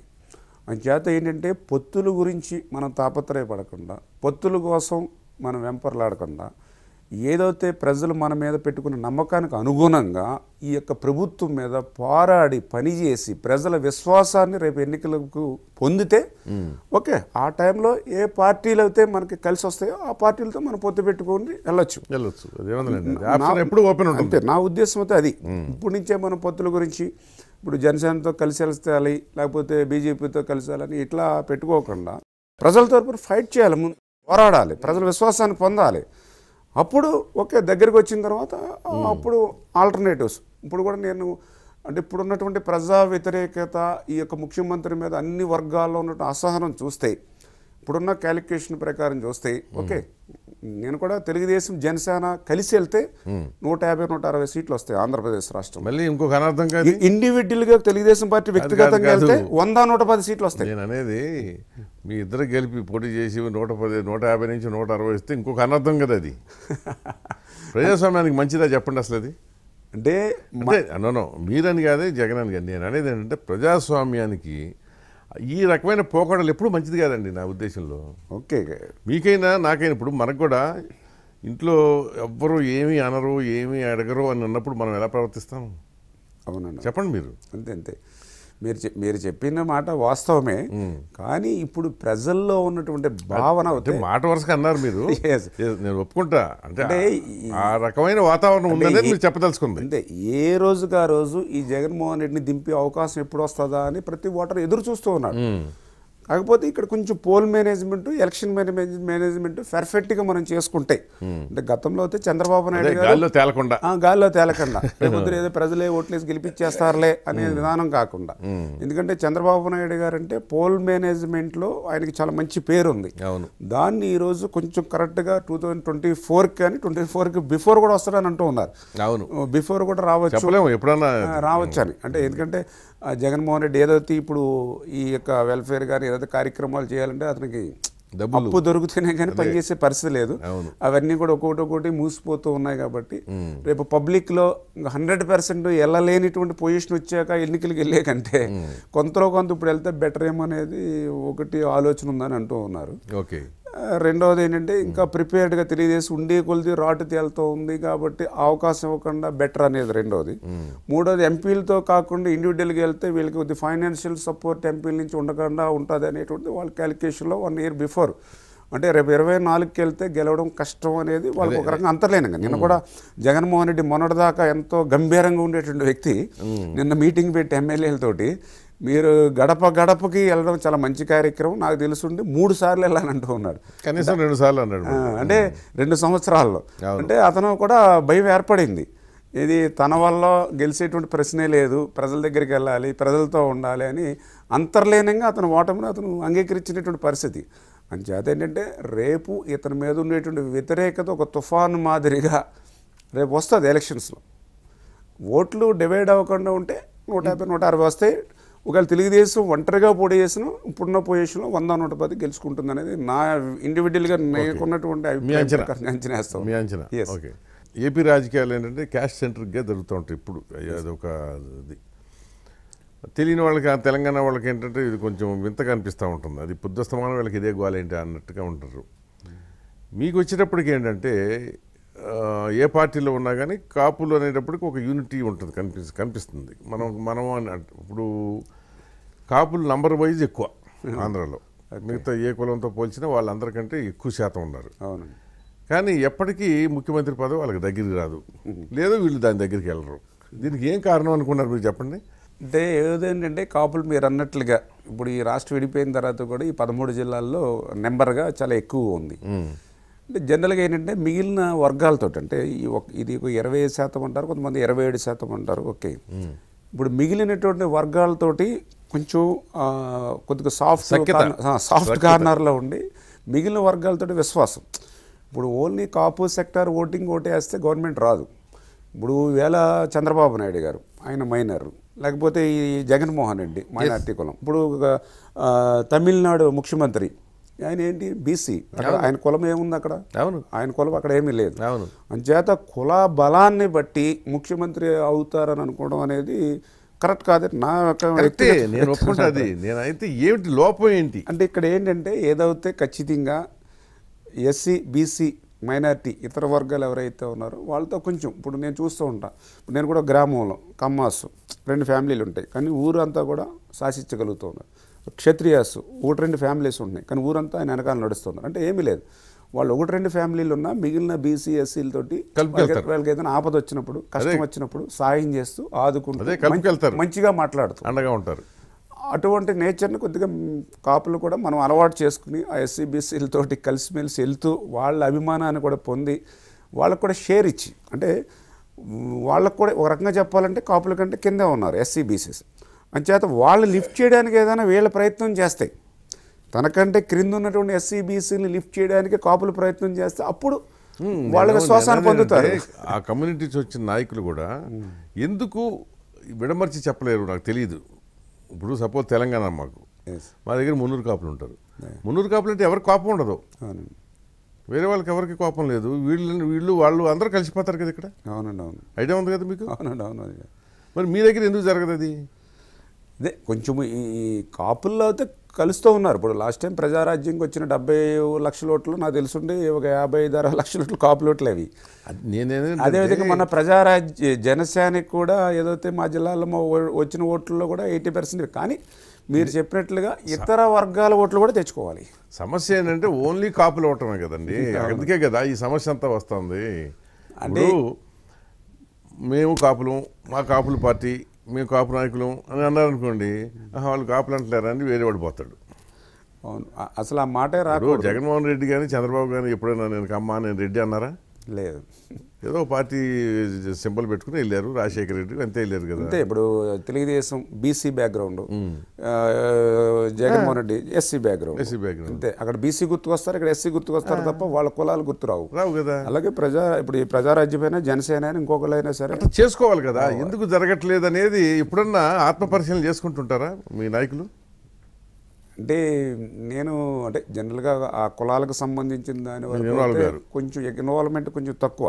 అంటే అలాగని దూరంగా ఉంటారని. కులాన్ని ప్రేమిస్తాం కానీ అన్ని వర్గాల పట్ల సమభావ్యం ఉండాలనేది నా నాకంటే క్రిందనున్న వాళ్ళని మనం గౌరవించాలని ఇప్పుడు నేను కూడా మొన్న పాలకుల్లో నేను గెలిచాను అని అంటే నా సామాజిక వర్గ ఓట్లు కూడా చాలా జనసేనకి వెళ్ళినాయి అయినా సరే నేను పద్దెనిమిది వేలు మెజార్టీ గెలిచానంటే వేరే వాళ్ళు ఎస్సీబీసీ వేయటం వల్లే గెలిచారు. అంటే ఎస్సీ బీసీ వీళ్ళందరూ కూడా ఎన్నంటూ ఉన్నారు. అంటే అందుకని నేను కొంచెం దూరంగా ఉంటా కానీ కాకపోతే. మీటింగ్స్లో మాత్రం చెప్తూ ఉంటాం. మేము కూడా ఎప్పుడైనా ఓన్లీ మీ సామాజిక వర్గం ఓట్లు మాత్రమే పడి ఉంటేనేమో చిరంజీవి లాగా ఓడిపోయి ఉండేవాళ్ళు పాలకొల్లలో. అవునండి అంతే కదా? అంతే అంతే. అంటే నేను కూడా అదే చెప్తూ ఉంటాం. ఎందుకంటే మిగిలిన వర్గాలతో కూడా సఖ్యతగా. అంటే కొంచెం నెంబర్ కూడా ఎక్కువ కూడా కొంచెం ఇబ్బంది వస్తుందేమో అని అనుకుంటాను. నేను కూడా ఒకసారి స్టడీ చేస్తూ ఉంటే ఇప్పుడు జాంకాయలు అమ్మే దగ్గర కాపు ఉంటాడు. ఒక బ్యాంక్ వెళ్తే గేట్ దగ్గర కాపు ఉంటాడు. లేకపోతే ఎక్కడో మోటార్ సైకిల్ మెకానిక్ దగ్గరికి వెళ్తే అక్కడ కాపు ఉంటాడు. ఎక్కడో చోట చిన్న ఘర్షణ వస్తుంది. ఏదో ఇష్యూలో. జాంకాయల రేట్లు కాడు ఇట్లు కాడు. కొంచెం అగ్రెసివ్గా మాట్లాడతాడు. "ఏం వీళ్ళు ఇంతే. ఆ- రకంగా కొంచెం ఎక్కువ మంది దూరం అవుతూ ఉంటారు. మిగతా వాళ్ళు దూరం అవుతున్నాం ఇప్పుడు మీరు చెప్పినట్లుగా మిగిలిన ఈ సమాజ వర్గాల నెంబర్ తక్కువ కాబట్టి పబ్లిక్కి కూడా తక్కువగా ఉంటారు. అవును. అంటే టచ్ తక్కువ ఉంటుంది కాబట్టి వాళ్ళ మీద పెద్ద నెగిటివ్ కనిపించేది. ఇప్పుడు క్షత్రియాసు లేకపోతే కమ్మాసు లేకపోతే రెడ్డియస్ వాళ్ళకి పబ్లిక్తో మేము వీళ్ళు ఎక్కువ మంది పబ్లిక్తో టచ్ ఉండటం వల్ల కూడా పబ్లిక్తో టచ్ కాదు అది. ఒక రకంగా చెప్పాలంటే పేదరికం. అదేలే పేదరికం. ఇప్పుడు పేదరికం వల్ల ఆ పనులు చేస్తున్నారు కదా. ఇప్పుడు ఏమండి ఇప్పుడు మొదటిగడ పద్మనాభం కానీ ఇంకోళ్ళు కానీ ఇంకోళ్ళు కానీ కాపుల గురించి మాట్లాడతారు కదా. ఎన్ని బాగానే ఉంటాయి కానీ ఒక్క ఒక్క కాపు నాయకుడు కానీ ఇంకొకరు కాపు సామాజిక వర్గం నుంచి పైకి వచ్చిన వాళ్ళు కానీ కాపుల్ని ఆర్థికంగా సామాజికంగా పైకి తీసుకురావడానికి ప్రయత్నం చేశారా? ఏదన్నా ఒక్క యాక్షన్ ప్లాన్ అన్న ఉందా? ఏమీ లేదు సున్నా. కేవలం మా లీడర్స్ లీడర్స్ అదే జరిగితే ఇప్పుడు కాపులు ఏదో ఇద్దరు ముగ్గురు నాకు తెలిసి అయితే తెలియక ఏమైనా ఉన్నారో తెలియదు పారిశ్రామికవేత్తల పేర్లు చెప్పండి. ఎక్కడో ఒకటి ఆరో ఒకటి ఆరో సినీ ప్రముఖుడు తప్ప. అది సరే సినిమాది అది పక్కన పెట్టండి అది అంతా. అందుకనేది పారిశ్రామికవేత్త. లేరు ఎక్కడ కూడా అదే అదే కేవలం ఏంటంటే కాపుల్ని ఉపయోగించుకుని రాజకీయాల్లో సెటిల్ అయినటువంటి లీడర్స్ ఉన్నారు. అంతే తప్ప సెటిల్ అయిన తర్వాత వాళ్ళకి ఏదో ఒకటి చేయాలనేటువంటి ఆలోచనతో ఉన్న వాళ్ళు ఎవరో లేరు. అంటే నేను ఉన్నంతలో కొంతలో కొంత. అంటే నేను పార్టీ వ్యక్తిగా కాదు శాసనసభ్యుడిగా కాకుండా మనిషిగా చెప్తున్నాను నేను. యాజ్ ఎ కాపుగా నేను కూడా ఎంతో కొంత చేసింది చంద్రబాబు నాయుడు గారే. కాపులకి ఎంతో కొంత చేయగలి చేసింది. అంటే ఇది నేను శాసనసభ్యుడికి కాదు. ఎందుకంటే నేను చూశాను. ఆ రోజు దామోదర సంజయ్ ఆయన ఒక దళిత ముఖ్యమంత్రిగా ఆ రోజు బ్రిటిష్ వాళ్ళు టైంలో ఇచ్చినటువంటి రిజర్వేషన్లు తీసేస్తే దామోదర సంజయ్ మళ్ళీ రెస్టోర్ చేశారు తర్వాత ఈ కాజు బ్రహ్మానంద రెడ్డి వీళ్ళు వచ్చిన తర్వాత తీసేసుకున్నారు అనుకోండి ఇప్పుడు మళ్ళీ మొన్న చంద్రబాబు నాయుడు గారు వచ్చిన తర్వాతే కాపు కార్పొరేషన్ పెట్టాడు. ఒక ఎస్సీ బీసీలకి ఎట్లా అయితే కార్పొరేషన్ ద్వారా సేవలు అందుతున్నాయో అటువంటి సర్వీసెస్ కాపు కార్పొరేషన్ పెట్టాడు. కాపుల పిల్లల్ని విదేశాలకు పంపించాడు. వాళ్ళకి స్కిల్ డెవలప్మెంట్ సెంటర్స్ పెట్టాడు. ఏదైతే స్వయం ఉపాధి రుణాలు అందించాడు. చాలా బెనిఫిట్స్ అంటే ఆ, ఇవ్వడం జరిగింది. అలాగే రిజర్వేషన్ కూడా మూడు దశాబ్దాల కోరిక అది. దాన్ని కూడా ముందు నేను చెప్పేది ఒకటే. మీరు ఇప్పుడు ఇవన్నీ ఏమో తాత్కాలికంగా అదేదో ఆయింట్మెంట్ పూసినట్టు ఉంటుంది మా కాపులు మా కాపులను ఎగిరే బదులు ప్రభుత్వాలతో కన్ఫంటేషన్కి వెళ్ళే బదులు ఆ బలాన్ని చూపించి ఇప్పుడు సపోజు మీ బొటాలు ఒక పది మంది ఉన్నారనుకోండి. ఇద్దరు ముగ్గురు మంత్రులు ఉంటారు ఒక ఇద్దరు ముగ్గురు వేరే పోస్టులు అట్లా ఉన్నారు కదా. ఒక రెండు మూడు పరిశ్రమలు పెట్టించండి మీ వాళ్ళతోటి. అంటే కొంచెం అంటే ప్రభుత్వం ఉన్నప్పుడు కొన్ని వెసులుబాట్లు ఉంటాయి కదా. అవునండి. పెట్టించారనుకోండి ఒక ఆర్థిక శక్తిగా నిలబడతారా? ఉపాధి అవకాశాలు పెరుగుతాయా? పెరుగుతాయి? అంటే ఏంటంటే ఫైనాన్షియల్గా అవి పెట్టే శక్తి కూడా. అంటే నలుగురితో ఇప్పుడు మా- మా- మా మనస్తత్వం ఎలా ఉంటుందంటే ఇప్పుడు అధికారంలో ఉన్నాం నేను మా దగ్గర ఇప్పుడు గ్యాస్ డిస్ట్రిబ్యూషన్ కావాలని ఎవరు అడగరు. గ్యాస్ సిలిండర్ ఇప్పించండి అని అడుగుతూ ఉంటారు అనమాట అంటే అట్లా కరెక్టే. డిస్ట్రిబ్యూటర్ అడగరు మా వాళ్ళు ఎవరు. వాళ్ళు అంటే నేను అనేది ఏంటంటే వాళ్ళని అక్కడే ఉంచారు. అట్లా ఉండిపోయారు. వాళ్ళని అక్కడే ఉంచారు. ఇప్పుడు మీరు చెప్పిన దాని ప్రకారం నాకు పాత బస్తీ గుర్తుకొస్తుంది. పాత బస్తీలో వాళ్ళ పరిస్థితి లాగా ఉంటుంది. అంతేగా అంటే నేను అనుకునేది ఆలోచించి చేయండి. అంటే ఆ స్థాయిలో మనం చేయగలిగంటే ఫైనాన్షియల్గా కొంచెం సపోర్ట్ అనేది కొంచెం తక్కువ ఉంది కాపుల్లో. అంత ఫైనాన్షియల్ ఉన్నవాళ్ళు ఉన్నారు కదండి. తక్కువ. బాగా వాళ్ళు కూడా అంటే ఉన్నా కూడా అని లేదు ఓ నలుగురు కలిపి చేయించవచ్చు అంటే ఏదేమైనా నేను అనుకునేది ఏంటంటే దీనికి సరైనటువంటి పరిష్కారం కావాలని అంటే ఆ రిజర్వేషన్ అనేది కాపులకి ఉంటే అది సాధ్యం అనేది పద్ధతి. నా నమ్మకం. అంటే ఇతర బీసీలకి ఎటువంటి నష్టం లేకుండా బలహీన వర్గాలకు నష్టం లేకుండా ఇతర వర్గాలకు అదే ఇచ్చారు కదా ఈబీసీలో రిజర్వేషన్. ఇచ్చారు? అంటే దానివల్ల ఏమవుతుందంటే కొంత కొద్దిగా ఈ విద్యా విషయంలోనూ కొద్దిగా ఉపాధి అవకాశాల్లో కొంచెం మెరుగుపడితే ఆటోమేటిక్గా ఇంకొక టెన్ ఇయర్స్కి అంటే ఇప్పుడు ఇప్పుడు ఇంప్లిమెంట్ అయినా వెంటనే డెవలప్ కాకుండా ఇంకో పది సంవత్సరాలకైనా కొంత అంతే ఇప్పుడు నడక మొదలు పెడితే ఎప్పటికప్పుడు రేపు కాకపోతే ఎల్లుండి వెళ్తాం. వస్తుంది. సరే ఇప్పుడు మీరు ఇంత నికార్సుగా పార్టీకి మొదటి నుంచి లేకపోయినా కానీ ఏ పూట చూసినా ఈ పచ్చ చొక్క వేసుకునే ఉంటారు. నియోజకవర్గంలో కూడా వేసుకుంటారు. ఈటీ టూ నుంచి ఉన్న వాళ్ళు కూడా వేసుకోరు. వదిలేశారు అందరూ మానేశారు అసలు ఇప్పుడు. అది ఎక్కువ మంది ఏదో పచ్చ చొక్కాలు పచ్చ తమ్ముళ్ళు అని పేరుకి అంటమే కానీ వేసుకునే వాళ్ళు తగ్గిపోయారు ఇప్పుడు. ఓకే ఇదివరకు మహానాడు అంటే అసలు మొత్తం పచ్చగా కనపడేది. ఓకే. ఇప్పుడు అది పోయింది. అవునండి. మీరు మాత్రం వేసుకుంటారు. ఎందుకు అంత అంత కమిట్మెంట్ ఎలా వచ్చింది మీకు? అంటే అంటే నేను పసుపు ఇష్టమా లేదా తెలుగుదేశం ఇష్టమా? అంటే తెలుగుదేశం పార్టీ ఇష్టం తెలుగుదేశం పార్టీలో పనిచేస్తూ ఉన్నా. చేత ఆ పార్టీకి లాయల్గా ఉండాలి. ఒకటి మీరు చెప్పినట్లుగా ఆ రోజు ఎన్టీ రామారావు గారి దగ్గర నుంచి కూడా. ఆ రోజు ఇప్పుడు నాకుండే సీనియర్స్ కూడా చెప్తూ ఉంటారు. మహానాడు గండిపేటలో జరుగుతూ ఉంటే ఎవరైనా పసుపు చొక్క వేసరాకపోతే అక్కడ పసుపు కలర్లో షర్ట్ ముంచి ఇచ్చేవారు వేసుకోమని. ఆ కమిట్మెంట్ లేదా పంపించేసేవాళ్ళు. లేదు పంపించేసేవారు. నేను కూడా ఒక పార్టీలో పనిచేస్తున్నప్పుడు ఖచ్చితంగా ఆ పార్టీకి ఆ రకంగానే లాయల్గానే ఉండాలి అనేటువంటి ఉద్దేశం. మీరు చెప్పినట్లుగా ఫంక్షన్స్ కూడా. ఇప్పుడు నాకు ఇవి తప్ప వేరే ఆల్టర్నేటివ్ వేరే కూడా? వేరే వేరే కలర్స్ కూడా లేవు. ఫంక్షన్కి వెళ్ళినా ఎక్కడికి వెళ్ళినా ఇదే డ్రెస్ ఇక. అంతే ఇదే డ్రెస్ పైన అంతే ఇదే ఇదే డ్రెస్ కోడ్ పెళ్ళిళ్ళు పేరెంటాలకి వెళ్ళినా ఇదే. ఎస్ ఎక్కడికి వెళ్ళినా ఎక్కడికి వెళ్ళినా కూడా. చాలా మంది అంటూ ఉంటారు కూడా. ఈ వైసీపీ వాళ్ళు వాళ్ళు కూడా అంటూ ఉంటారు. ఏదైనా మ్యారేజ్లకి ఇట్లా కనిపించినప్పుడు. ఏంటి ఇక్కడ కూడా కలర్ తప్పట్లేదు మాకు అని చెప్పి. అంటే ఒక నమ్ముకున్న సిద్ధాంతం కోసం అట్లా ఉండాలి అనేది ఒక నా నా సొంతమే. చెప్పింది ఒత్తిడి కాదు. అది. నా ఇంట్రెస్ట్ దానికి అలవాటు కూడా పడిపోయాం కూడా ఇప్పుడు. అలవాటు కూడా పడిపోయాం దానికి. సో మంత్రి పదవికి అర్హతలన్నీ సంపాదించుకుంటున్నారు మెల్లిమెల్లిగా ఒక పద్దెనిమిది కేసులు వచ్చాయి. పార్టీ అంటే అంకిత భావం. తర్వాత అసెంబ్లీలో మీరు మీ టాలెంట్ని ప్రూవ్ చేసుకోగలుగుతున్నారు. వచ్చినట్టేనా మంత్రి పదవికి? రేపు గవర్నమెంట్ వస్తే? అంటే నేను పెద్దగా పదవుల గురించి పెద్దగా ఆశించి పనిచేసేటువంటి వ్యక్తిని కాదు. మీకు ఇందాకే చెప్పా సర్వీస్ ఓరియంట్లో వచ్చాం. నాకు ఎమ్మెల్యే ఆ మూడు అక్షరాలు ఉంటే చాలు. నేను లాస్ట్ టైం పద్నాలుగు పంతొమ్మిదిలో ఎమ్మెల్యేగానే ఉన్నా. ఓకే. కానీ మంత్రులు కానీ లేకపోతే ఇతరత్ర సీనియర్ నాయకులు కూడా చేయలేనటువంటి విధంగా నా నియోజకవర్గానికి నేను అభివృద్ధి చేసుకోగలిగాను వాళ్ళకి సర్వీస్ ఇవ్వగలిగాను. అంచేత నా ఉద్దేశంలో పదవులతో నిమిత్తం లేకుండా మనం చేసేటువంటి పని మీద కనుక కమిట్మెంట్ ఉంటే చేయగలిగిన నమ్మకం. ఓకే. కాకపోతే మీరు చెప్పినట్లుగా ఓకే ఇప్పుడు ఎక్స్టెన్షన్లో మనం ఉంటే సర్వీస్ని కొంచెం ఎక్స్టెండ్ చేయడానికి అవకాశం. ఏదైనా కొంచెం అవకాశం ఇంకొంచెం అంతే, తప్ప దాన్ని మనం టార్గెట్గా టార్గెట్ అయితే మాత్రం ఎప్పుడు తీసుకోం. కానీ అది ఏదైనా పార్టీకి ఉపయోగపడుతుందని అనుకుంటే ఓకే ఇప్పుడు మీరు ఇందాక మాట చెప్పారు. ఏదైతే ఇప్పుడు తెలుగుదేశం పార్టీలో ఫైట్ చేసేవాళ్ళు లేకపోతే ఇటు వాళ్ళు కొంచెం తక్కువగా ఉంటూ ఉన్నారు.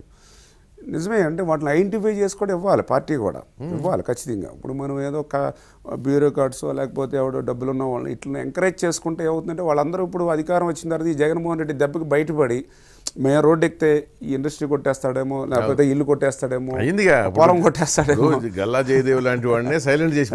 గల్ల జయదేవ్ మన రమేష్ హాస్పిటల్ అక్కడ రమేష్ అంటే రాజకీయాల్లో డైరెక్ట్ జయదేవ్ ఎంపీ ఎవరిని కూడా సైలెంట్ చేసి కదా అవునండి అవును. ఇట్లా చాలా మంది ఉన్నటువంటి పరిస్థితి. ఇప్పుడు మా మీద ఎందుకు చేయలేకపోతున్నారు? మా వెనకాల ఏమీ లేదు. ప్రజలు తప్ప ఏమీ లేదు. ఇప్పుడు నిజంగా నేను ఇందాక అన్నాను కేసులు పెట్టాడని. నిజంగా అరెస్ట్ చేసుకుంటే చేసుకుని బెయిల్ కూడా ఎన్ని రోజులు పెట్టుకుంటావు పెట్టుకో. ఏముంది అసలు అంటే మనం తప్పు చేయనప్పుడు దేన్ని ఆలోచించవలసినటువంటి పని లేదు. ఇప్పుడు లాస్ట్ టైం ఇప్పుడు నేను ఇప్పుడు పార్టీకి మీరు అన్నట్టుగా ఇప్పుడు ఇప్పుడు తక్కువ మంది ఉన్నాం కాబట్టి ఎక్కువ మేము అగ్రెసివ్గా వెళ్తూ ఉన్నాం. ఇప్పుడు సార్ కూడా చాలా ఇంపార్టెన్స్ ఇచ్చి బాగా ఎంకరేజ్ చేస్తూ చేస్తూ ఉన్నాడు. డిప్యూటీ లీడర్ కానీ అసెంబ్లీలో కానీ బయట కానీ చాలా పని అప్ చెప్తూ ఉన్నాడు. కాకపోతే ఒక్కోసారి నాకు కూడా అనిపిస్తుంది ఇప్పుడు నేను ఎక్కడికి ఇప్పుడు ఏదో జిల్లాకి వెళ్తాను. మెచ్చుకున్నాడా? చాలా. నా విషయంలో మాత్రం చంద్రబాబు నాయుడు గారు చాలా సాటిస్ఫికేషన్. అంటే జనరల్గా ఆయన మీరు అన్నట్టు ఎంత వర్క్ చేసినా ఇంకా చేయాలని అనుకుంటారు.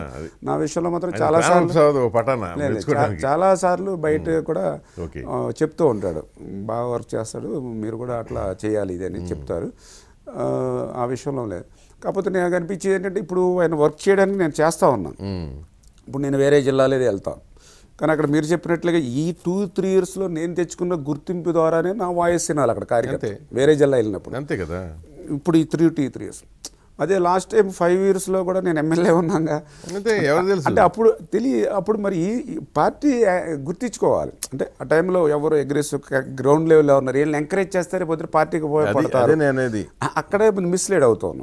ఇప్పుడు మా వెస్ట్ గోదావరి ఉంది. ఓకే అప్పుడు కూడా మా జిల్లాలో కాపులకి ఖచ్చితంగా మంత్రి ఇవ్వాలి. మా జిల్లా కుల సమీకరణను బట్టి. అవును. సరే అది బీజేపీతో అలయన్స్ ఉంది కాబట్టి మాణిక్యాలరావు గారు అంటే అటు కాపు ఇటు బీజేపీ ఇచ్చేసారు తప్పలేదు.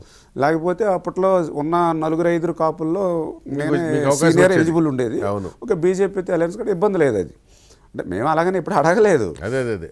లాస్ట్ వన్ ఇయర్ ముందు వాళ్ళు రిజైన్ చేశారు. అవును. చేసినప్పుడు వాళ్ళకి ఇచ్చి ఉంటుంటే ఇప్పుడు ఒక మాజీ మంత్రిగా ఒక స్టేచర్ వేరేగా ఉంటుంది. అంటే నా గురించి కదా అసలు అది నథింగ్ జీరో నేను ఇందాక చెప్పా నాకు ఎప్పుడు కూడా ఆ మూడు అక్షరాలు ఎమ్మెల్యే అనేది మాత్రం ఉండాలి. ఆ కసి ఉంది నాకు.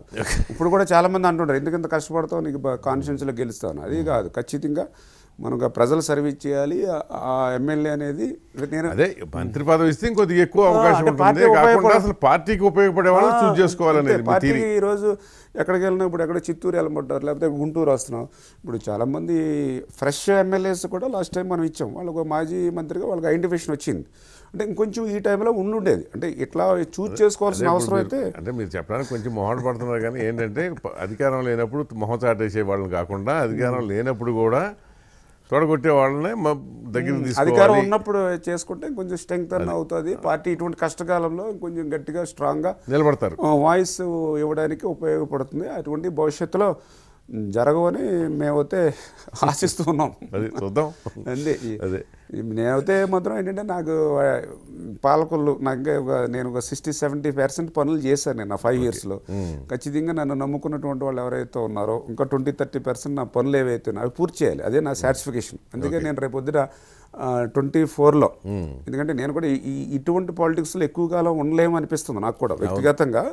నిజంగా నేను ఈ రెండు వేల పంతొమ్మిదిలో గవర్నమెంట్ ఇచ్చుంటే ఆ బ్యాలెన్స్ వర్క్లో కంప్లీట్ చేసేసి ఫిల్ చేసేసి నమస్కారం పెట్టేయాలని. ఎందుకంటే ఫైనాన్షియల్గా స్ట్రగుల్ అవుతూ ఉంది ఇబ్బందులు ఉన్నాయి. కానీ ఏంటంటే ఈ ఫైవ్ ఇయర్స్లో బ్యాలెన్స్ వర్క్లు ఉండిపోయినాయి. పార్టీ ఇంత కష్టంలో ఉంది. మళ్ళీ చంద్రబాబు నాయుడు గారిని ముఖ్యమంత్రిగా మనం చూడాలి. అందుకని కష్టపడి మనం పని చేద్దాం రేపొద్దున బ్యాలెన్స్ వర్క్లు అన్నీ కూడా పూర్తి చేసి అటు కార్యకర్తలకు కానీ నాయకులకు కానీ కాన్స్టిట్యున్సీకి కానీ చేసి ఆ సాటిస్ఫాక్షన్ పొందిన తర్వాత అంటే మనం రేపొద్దున పదవులు లేకపోయినప్పుడు కూడా ఎస్ రామానాయుడు గారి టైంలో ఈ పని అయింది. నేను లేకపోవచ్చు ఇంకో ఇరవై సంవత్సరాలు గుర్తు పెట్టుకునేటువంటి విధంగా నా పాలకులని నాకు పని చేసి అనే దానికోసం చేసుకుంటున్నారు. అంతే తప్ప నేను మంత్రి పదవి కాదు. రెండోది కూడా నేను ఎప్పుడు ఓటమిని కూడా ఎప్పుడు అంగీకరించే మనస్తత్వం కాదు కాదు గట్టిగా కసిగా. నేను ఇప్పుడు మా ఇంట్లో పెద్ద చదువుకున్న వాళ్ళు లేకపోయినా నేను పిహెచ్డి వరకు వెళ్ళా. నేను లెక్చరర్గా పనిచేసినప్పుడు కూడా ఏ స్టూడెంట్ అడిగి చెప్తారు? "ఆ, ఎమ్మెల్యే గారు రామారావు గారు బాగా చెప్తారు లెసన్ అని. అదేవిధంగా నేను రైతుగా నేను కష్టపడి పని చేస్తాను. నేను కూడా ఇప్పుడు ఎప్పుడైనా ఖాళీ దొరికితే పొలం వెళ్తాను పొలంలో పొలంలో కూడా పని చేస్తూ ఉంటాను యాభై ఐదు అరవై బస్తాలు పండిస్తాను నేను పెర్ ఏకర్కి వచ్చి అలాగే చెరువులు చేసినప్పుడు కూడా ఇప్పుడు లాస్ ప్రాఫిట్లో డిఫరెన్స్ ఉండొచ్చు కానీ లాస్ లేదు. రాత్రులు కూడా అక్కడే పడుకుని అక్కడే పని చేసి వర్షంలో తడుతూ కూడా ఉన్నాయి. అంటే ఏ అలా ఏ వృత్తిలో ఉన్నా కూడా రాజీ పడకుండా దానికి దాన్ని పూర్తిగా న్యాయం చేసేవాళ్ళు. అంతేగాని ఇప్పుడు అందుకని ఇప్పుడు ఎమ్మెల్యే కూడా ఉన్నాం కాబట్టి దాన్ని కూడా రాజీ పడకుండా న్యాయం చేస్తాం. మీరు పార్టీ మీ ఫ్రెండ్స్ మారినట్టుగా మీరు మారమని మీకు ఏదో అది ఇస్తాం ఇది ఇస్తాం అని చెప్పలేదా? ఫస్ట్ అయితే ఎందుకు ఇంకా దీనికి మీకు భవిష్యత్తు ఎక్కడ ఉంటుంది? ఈ మీరు వస్తే మీరు కూడా మీ అప్పులన్నీ కూడా క్లియర్ అయిపోతాయి. నెక్స్ట్ ఫ్యూచర్ కూడా మీకు బాగుంటుంది అని అందులో ఉన్నటువంటి కొంతమంది మాట్లాడ ఆఫర్లు ఇచ్చారు. మాట్లాడడం జరిగింది. ఎంత అప్పు అంటే అప్పు అంటే అప్పటికి ఎంత ఉంది మీకు ముప్పై అప్పులు ఉన్నాయి రేపు లైఫ్ కూడా క్లియర్ అవుతుంది అని అంటే నేను చెప్పా క్లియర్గా.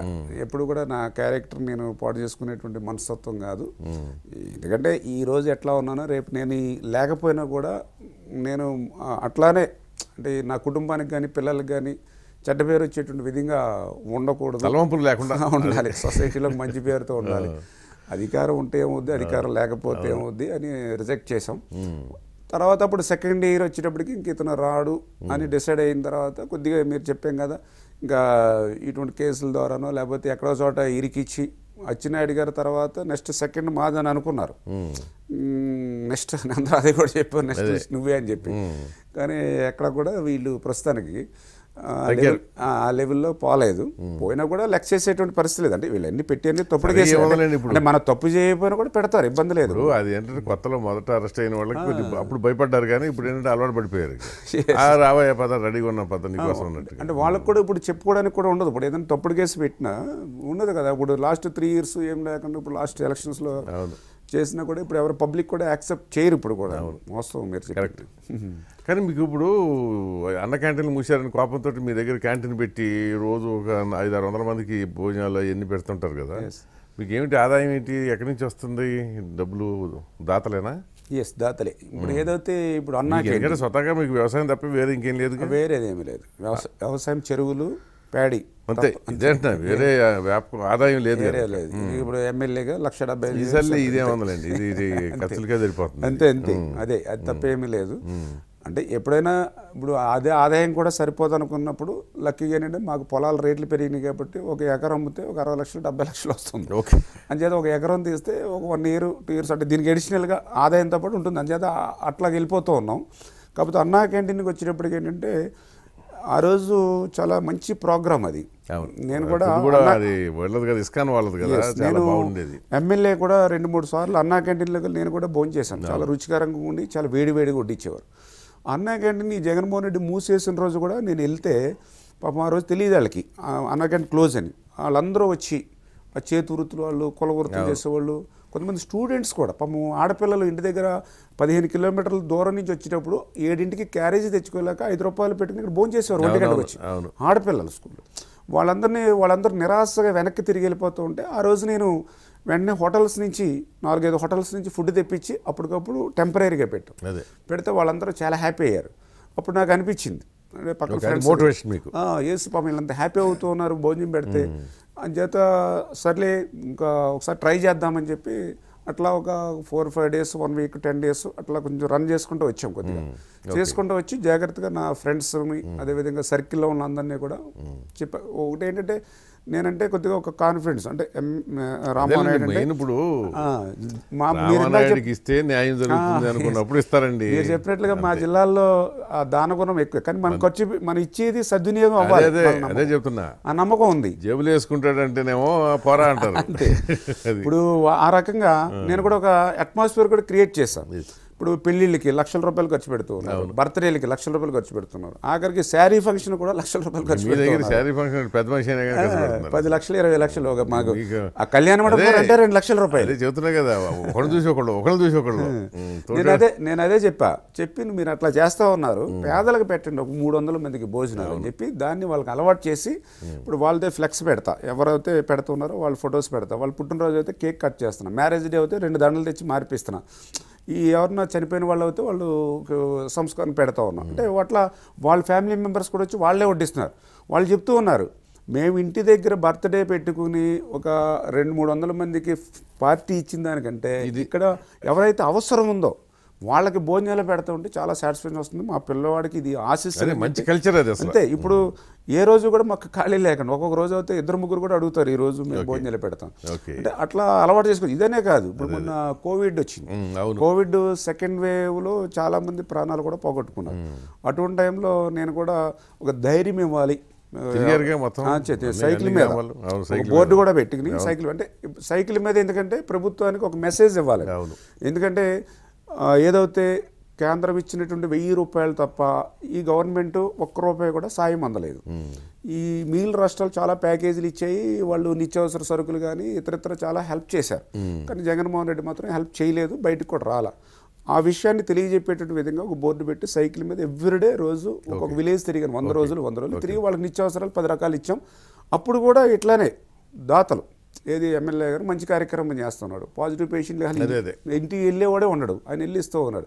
ఆ రోజు కూడా ఏ రోజుకి ఆ రోజు ఒక్కొక్కళ్ళు స్పాన్సర్ చేసి చేసేవారు. ఆ రకంగా ఏంటంటే నాకు కొంచెం లక్ ఏంటంటే కొంచెం మంచి ఫ్రెండ్స్ ఉండడం. అదేవిధంగా నేను యూనివర్సిటీలో చదువుకున్నప్పుడు నాతో వాళ్ళు కూడా కొంచెం వెల్ సెటిల్ అవ్వడం ఏదన్నా. అదే ఈ టన్నిటికంటే అతీతం ఏంటంటే నమ్మకం అండి. ఎస్ ఎస్ నమ్మకం. ఇప్పుడు మీరు ఎమ్మెల్యేగా లేకపోయినా మీ మీద నమ్మకం ఉంటే ఇస్తారు. ఇస్తారు. కాకపోతే సేవా కార్యక్రమాలు చేయొచ్చు. అయితే ఇది ఉంటే ఇంకెక్కువ వస్తుంది. అంతే. కానీ దురదృష్టం ఏంటంటే అటువంటి సేవా కార్యక్రమాన్ని కూడా ఈ ప్రభుత్వం అడ్డుకుంటుంది. అన్యాయం ఏంటంటే ఆ రోజైతే అన్నా క్యాంటీన్ రాత్రి పదకొండు గంటలకి మున్సిపల్ అధికారులు వచ్చి పీకేస్తున్నారని నాకు ఎవరో ఫోన్ చేశారు ఇంటికి. నైట్ పదకొండింటికి నేను లిఫ్ట్ చేయలే. ఇద్దరు మోటార్ సైకిల్ వేసుకొచ్చి కుర్రోళ్ళు వచ్చారు కాలింగ్ బెల్ కొడితే ఏంటమ్మా అంటే ఇలాగా మీ ఫోన్ చేస్తే లిఫ్ట్ చేయలేదు అన్నా క్యాంటీన్ పీకేస్తున్నారు సార్ అన్నారు. రాత్రి పదకొండు అయింది. అంటే నేను కూడా కొంచెం వెంటనే వాళ్ళ మోటార్ సైకిల్ మీద వెళ్ళిపోయా. మధ్యలో కూర్చుని. మా మిస్సెస్ కంగారు వీళ్ళు ఎవరు వచ్చారు ఎవరు తీసుకుపోయారు. నాకేంటంటే అన్నాకేంటి తీసేస్తున్నారు? నేను వెంటనే ఆవేశంతో ఫ్యాన్ వేసుకుని వెళ్ళిపోయాను అంతే.